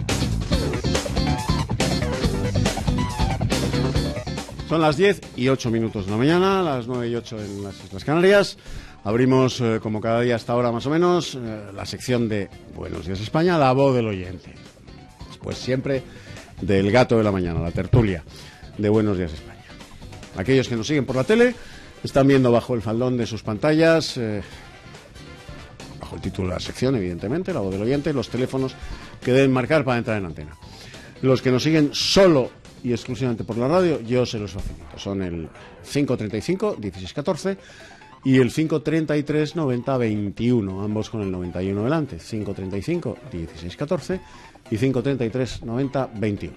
¿Mm? Ya saben que la entrada es absolutamente libre y exactamente igual de libre el planteamiento que ustedes nos quieran hacer de la cuestión que por la razón que fuere, pues a ustedes les preocupe, les inquiete o les regocije. Y hoy lo están viendo, nos acompaña, como todos los miércoles que puede venir a la tertulia, mi queridísimo Paul Victoria. Adelante, buenos días. Buenos días, Buenos días. queridos señores Victoria y García Serrano. Buenos días. Me da usted a permitir, don Eduardo, de que le haga una, un- una aclaración al respecto de lo que usted decía ayer cuando el amigo Sotillo no paraba de hablar. Bueno, usted dijo varias veces que este señor, la opinión de este señor y la opinión, yo sé que usted lo sabe casi todo, No. Yo solo sé que no sé nada. casi todo. Yo sé que usted, yo sé que usted lo sabe casi todo, pero para mí y para el RAI, eh, opinar es decir, hablar, contar de lo que se sabe. Pero es que este señor, de la mitad de las cosas que se opone, como aquel, como aquel diputado inglés que estaba dormido y cuando se despertó, "Ah, ¿qué pasa? ¿Quiénes hablando? Pues, pues no lo sé. Pues entonces, entonces me, me me opondré si es de los otros, diga lo que diga. Este señor lo que hace es, como decíamos en el cole, lanzar grandes rajadas. Entonces, bueno, pues que él siga así, él es muy libre, etc, etc, etc. Y en cuanto a, no puedo callarme de la, de la joven esta, miren, Castañaga o Castaña no sé qué. Mm, esta-. Ah, Gastañaga, yo Gastañaga. digo Castaña, yo la digo Castaña. Que entonces, pues que esta señora es, para, en fin, la forma de ver de algunos, es un poco, pues no sé, tontoac e imbeciliac. En fin, mm, querida vascuence, querida vascuence, con tu pan te lo comas. Vas a trabajar menos que el sueldo base. O sea que no te preocupes. Un Sí, abrazo para los dos, señores. A partir de este momento no creo que haya un solo productor en España, porque claro, son muy progres, muy progres, muy progres todos los del mundo del cine, incluidos los productores, por supuesto, pero la pela es la pela. Y no creo que haya un solo productor que contrate a esta actriz eh, eh, de reparto, de reparto de subvenciones, ¿eh? porque saben que a partir de este momento y de lo que dijo, película en la que salga esta señorita, película que va a ser un fracaso en, en taquilla. Así de simple. Así de simple. Y todos los productores que son muy progres y que- que incluso mm, la han aplaudido mm, sin cámaras delante, pero la han aplaudido por decir las burradas que dijo de los españoles. Esos mismos productores que la han aplaudido y que le han dicho, muy bien, miren, muy bien. ¿eh? No la van a volver a contratar en su vida. Porque en cuanto esta señorita aparezca en una película, en la taquilla no va a haber nadie. Nadie. Que los españoles somos una colección de catetos, eh, de analfabetos, de paletos, de casposos. eh, Pues que vaya a verte tu madre. Miren Gastañaga. ¿Te parece lo que le va a lo que le sucedió a Hillary Clinton? Por despreciar a su propio pueblo, la castigaron en los votos. Adelante, buenos días. Buenos días, soy yo. Sí. Bueno, pues hoy Día de la Mujer. Por, por trabajar yo en mi casa toda la vida, que soy una señora mayor, tener cinco hijos, tener a mi cargo a mi madre porque soy hija única y no tuve más remedio, y luego no tuve más remedio que tener a mi suegra, y dar dos hijos, vamos, dar, mm, servir a la patria, dos hijos, ¿eh? servicio militar, me quedo viuda y me dejan la mitad de la paga, después de cotizar mi marido 40 años. Si mi marido en aquellos tiempos hubiera tenido que colaborar con la familia como ahora colaboran los hombres, ¿ustedes creen que mi marido hubiera podido cumplir con la empresa y cotizar 40 años si no hubiera tenido mi ayuda? Ahí dejo la pregunta. No, yo le respondo de ninguna manera, señora. De ninguna, de ninguna manera. El trabajo de la mujer eh, en, la familia, en, el hogar, es el pilar de la sociedad. El pilar básico, fundamental de la sociedad. ¿eh? Y hay que reconocer ese trabajo de las mujeres como usted, como mi madre, como nuestras abuelas, que eh, han administrado la hacienda familiar, eh, han mantenido la familia en orden, han educado a los hijos, han mantenido la despensa llena y han mantenido el hogar ¿eh? como Dios manda. Ese trabajo hay que reconocerlo, pero vamos, públicamente. Ese es el pilar de la, de la sociedad y, y- y sin eso no hay, no hay civilización. Bueno, pues a estas mujeres, las progres de los años 70, ¿eh? porque fueron ellas, las progres de los años 70, a estas mujeres es a las que, repito, a de ponerme pesado, las progres, las mujeres progresistas de los años 70, a estas mujeres, como esta señora, como mi madre, como mi abuela, como nuestras madres, las llamaban despectivamente marujas. Las ¿eh? despreciaban. Y las Las desprecian ¿eh? hoy día. Porque el, el- el apelativo de marujas lo crean las progres de los años 70, Hmm. ¿eh? para este tipo de señoras. Las llaman de desocupadas, ¿eh? Las, las mantenidas también las marujas, llamaban. ¿eh? Mm. Y eran ellas, las propias mujeres progres, las feministas, las llamaban marujas. A mi madre, a la madre de usted, a mi abuela, las llamaban marujas, despectivamente. Eh, Eso es el feminismo y el progresismo. adelante, buenos días. Buenos días, Eduardo y el señor Victoria. Buenos Hola. días. Pues nada, yo era para decirte, Eduardo, que lo voy a sentir mucho. Ya sabes que voy a todas las reuniones tuyas, pero estoy con médicos de- para mi mujer. Y, Vaya por Dios. ¿eh? Sabes que no falto porque os Lo admiro. sé, lo sé, lo sé, lo sé. Eh, y eres un maestro como Rafael, como todos de la Inter, que sois los únicos que nos dais valor para levantar esta España y decir las verdades como puños. Y darle, cuando la veas, porque me imagino que irá Ángela, ¿eh? le das un abrazo de mi parte. Se lo daré. ¿eh? Ya sabes, no quiero dar el nombre, pero ya lo sabes. Sí, señor. ¿eh? Que era eso, y a Pilar, que la aprecio mucho, y a Jesús Muñoz. Un abrazo muy fuerte y lo siento no poder ir, ¿eh? Bueno, no te preocupes, no te preocupes. El, próximo lunes, eh, día 13 de marzo, a las cinco y media, este servidor de todos ustedes en el Club de Amigos de Intereconomía, pues compartirá tertulia con todos ustedes sobre la situación política española y sus antecedentes y sus perspectivas. ¿Esto es en televisión o en persona? En persona en el Club de Amigos. Una charla. eh, Hay que llamar por teléfono a, a reservar el, la sillica. ¿eh? Adelante. Buenas tardes. Buenas tardes. Eh, perdón, buenas tardes, buenos días. Buenos días, como- España. Como, estoy aquí más horas que el reloj, no sé es por la tarde, por la mañana, por, Por la noche. madrugada. Sí, buenos días. Muy buenos días, jóvenes. Hombre, don Luis, ¿cuánto tiempo? Jóvenes, lo han metido usted también en el club, don Eduardo. Joven aún. Para mí los dos son jóvenes. Ojalá pudiera cambiar la edad. Vamos, sumo la de las dos y los cambio. Esto, vamos a ver, que quiero ser muy rápido. Lo primero, hay decir, don Eduardo, que sigo mal, que no me lo ha preguntado. Bueno, eh, eh, no se lo pregunto porque sé que está usted mal, como siempre. Sí, exactamente. Eh, Pero, pero hay que tomárselo siempre positivo. Bueno, que quiero decir que... Don Luis es un poco el enfermo imaginario. ¿Ah, sí? Es un hipocondríaco patológico. Ojalá, ojalá. Vamos a ver, que, que decirle que sigo todas sus tertulias y que me reconfortan con la humanidad. Y me hace mucha falta ese reconforte. Bueno. Lo segundo, el señor Victoria es colombiano, ¿verdad? Sí, señor. Bueno, pues eh, le quiero decir que una de las mejores personas que he conocido en mi vida, ya fallecida desgraciadamente, era colombiana y que era un economista excepcional que me enseñó casi todo, vamos, no, casi todo, no, lo poco que sé de economía. ¿Quién era?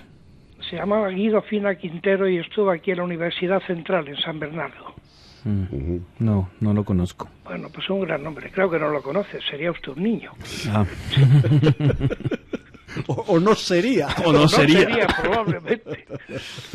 Muy bien. Bueno, ahora quiero hablar también rápidamente de, de lo que han hablado ustedes de religión y quiero recordar algo que ya recordé una vez, a un amuno eh, que, que al que se le suponía por algún periodista que le entrevistaba eh, muy izquierdoso, le preguntaron, aunque no fue en una etapa de su vida, vamos, le, le preguntaron que si era protestante y dejó una frase, una respuesta genial. Dijo, no soy católico, que es la religión única y verdadera, y voy a ser otra cosa.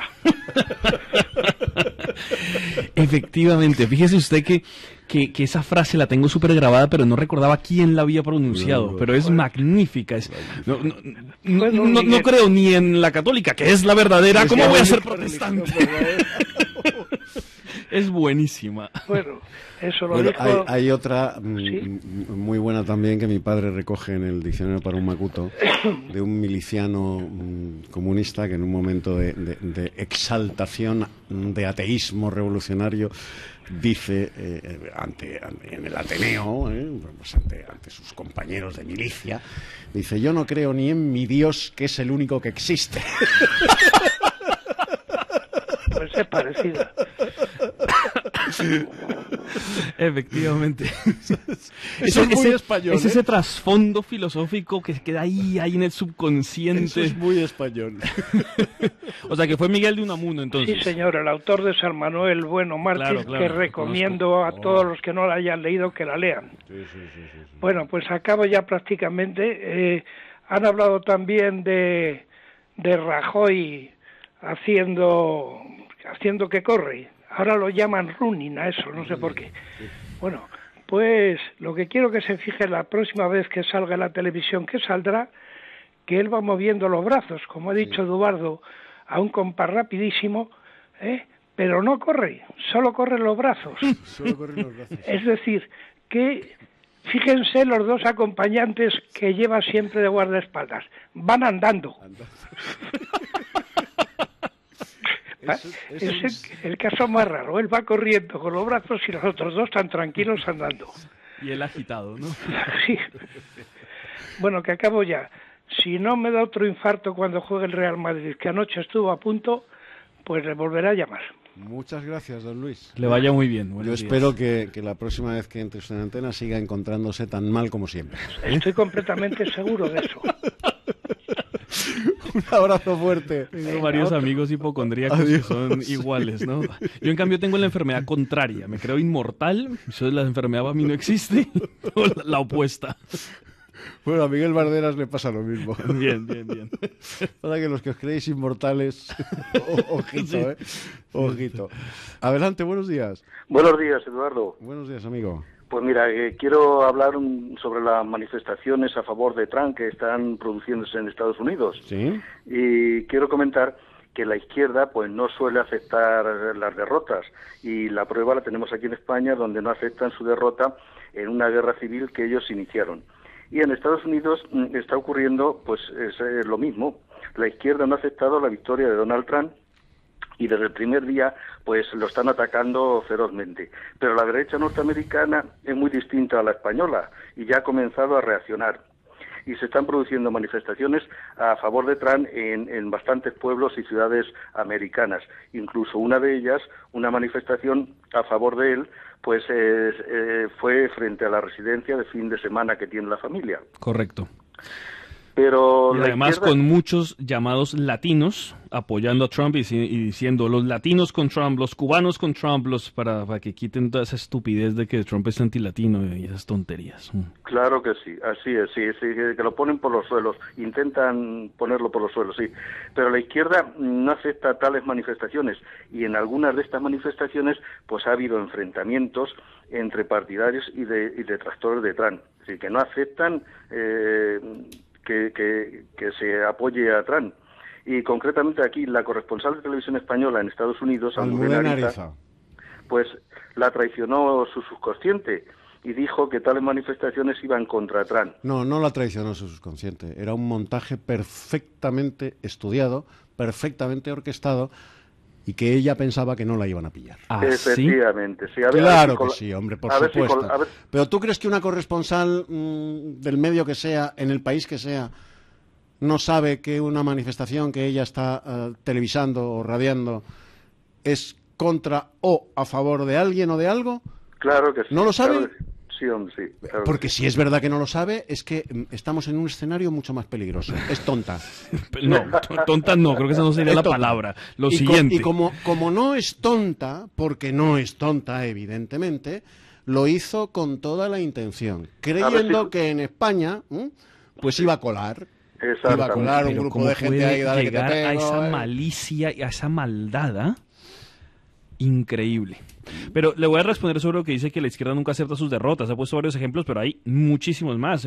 No, hay que irse a la guerra civil, es que antes de la guerra la izquierda tampoco aceptaba las elecciones eh, democráticas eh, de la República.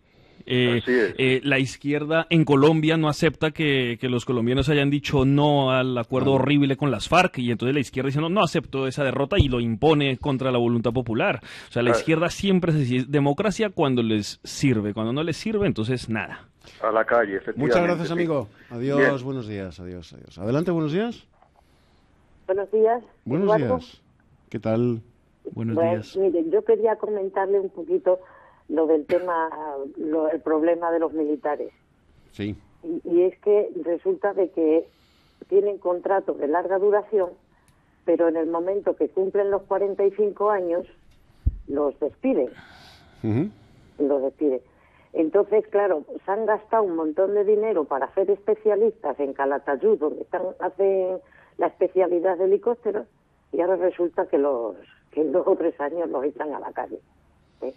Y claro, la gente, los chicos, pues están desmoralizados, eh, prácticamente pasan de, las cosas porque saben que dentro de dos o tres años van a estar en la calle, eh, nos vamos a quedar sin ejército poco a poco. Y, y, es un problema tremendo porque se queda gente joven, con niños, con familias, con todo, y se quedan colgados, porque el único oficio que han tenido ha sido estar en el ejército, 20 o 25 años. ¿Pero y les dan pensión a los 45 o, o cómo dicen, es? Dicen que les dejan 600 euros, que todavía eso no, no está demostrado. Pero vamos, les quedan eso. Los dicen que los dan 600 euros. Pero claro, no es que ganen mucho más estando en activo, pero es por lo menos tienen un aliciente, un futuro y así la gente pues ni, ni hace cursos ni está estimulado estimulado los chicos para poder decir voy a superarme ponen las pruebas dificilísimas para que no puedan acceder a ello. En fin es una una cosa de, de vamos que están destrozándolo todo ¿entiendes? y claro esto saben que con la parte del sur tenemos un problema pero hay veces que no les importa claro muchas cosas ¿entiendes? Muchas gracias, amiga. Nada, gracias. Gracias. Adiós, adiós. Adelante, buenos días. Buenos días, Eduardo y a Paul. Buenos días. Bueno, muy brevemente. Eh, no habéis hablado de las nuevas leyes que ha implantado en Hungría el señor Víctor Orbán con la ayuda del partido Jobbik y yo creo que es una cosa pues muy acertada y es algo que como siempre a este señor se le echa encima a todo, todo el mundo pero que duda cabe que yo creo que va muy bien encaminado y bueno que nada que estupendo el señor Víctor Orbán un patriota y el partido Jovi pues también fenomenal nada más que quería decir eso pues dicho queda Venga. Muchas gracias. Está bien que lo, que lo recuerde. Muchas gracias. Un abrazo, ¿eh? Adiós, otro abrazo para ti. Adiós, adiós. Bueno, pues hemos llegado al final de La Voz del Oyente. Mm, ya saben que Buenos Días España continúa, por lo tanto sigan ustedes ahí, en nuestra sintonía, en la Inter del Grupo Intereconomía, porque Buenos Días España, ya de la mano de Fernando Ballesteros, Rafa Nieto, María Mera, Sergio Fernández y Miguel Barderas, continúa hasta las 12 del mediodía. Por mi parte, ya saben, hasta esta tarde-noche a las 20.30, a las 8 y media de la tarde en el telediario de Intereconomía Televisión con Beatriz Rojo y mañana a las 8 en punto de la mañana, pues nuevamente aquí en Buenos Días España. Muchas gracias amigos por Gracias, buen día. Un fuerte abrazo, sigan ahí y hasta esta tarde. Adiós.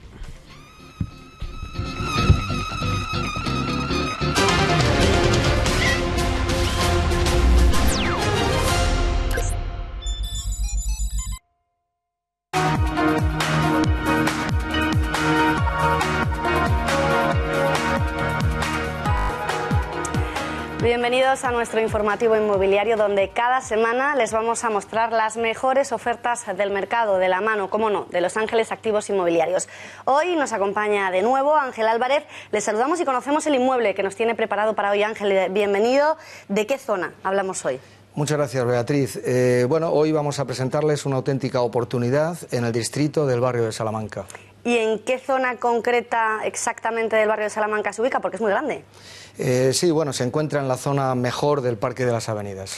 Pues si te parece, vemos ya los detalles. ¿Cuántos metros tiene y cómo estarían distribuidos? Pues es un piso de 157 metros cuadrados. En la zona principal nos encontramos con un hall de entrada, con acceso a un amplio salón comedor de más de 20 metros cuadrados, con dos ambientes. Todo el salón se puede decir que es totalmente exterior y da paso a tres dormitorios, de los cuales el principal tiene un cuarto de baño completo tipo suite. Además, el piso cuenta con otro cuarto de baño completo y en la zona de servicio tenemos una amplia cocina con tendedero y un dormitorio auxiliar. Pues eh, Ángel, ¿qué más eh, características nos puedes contar?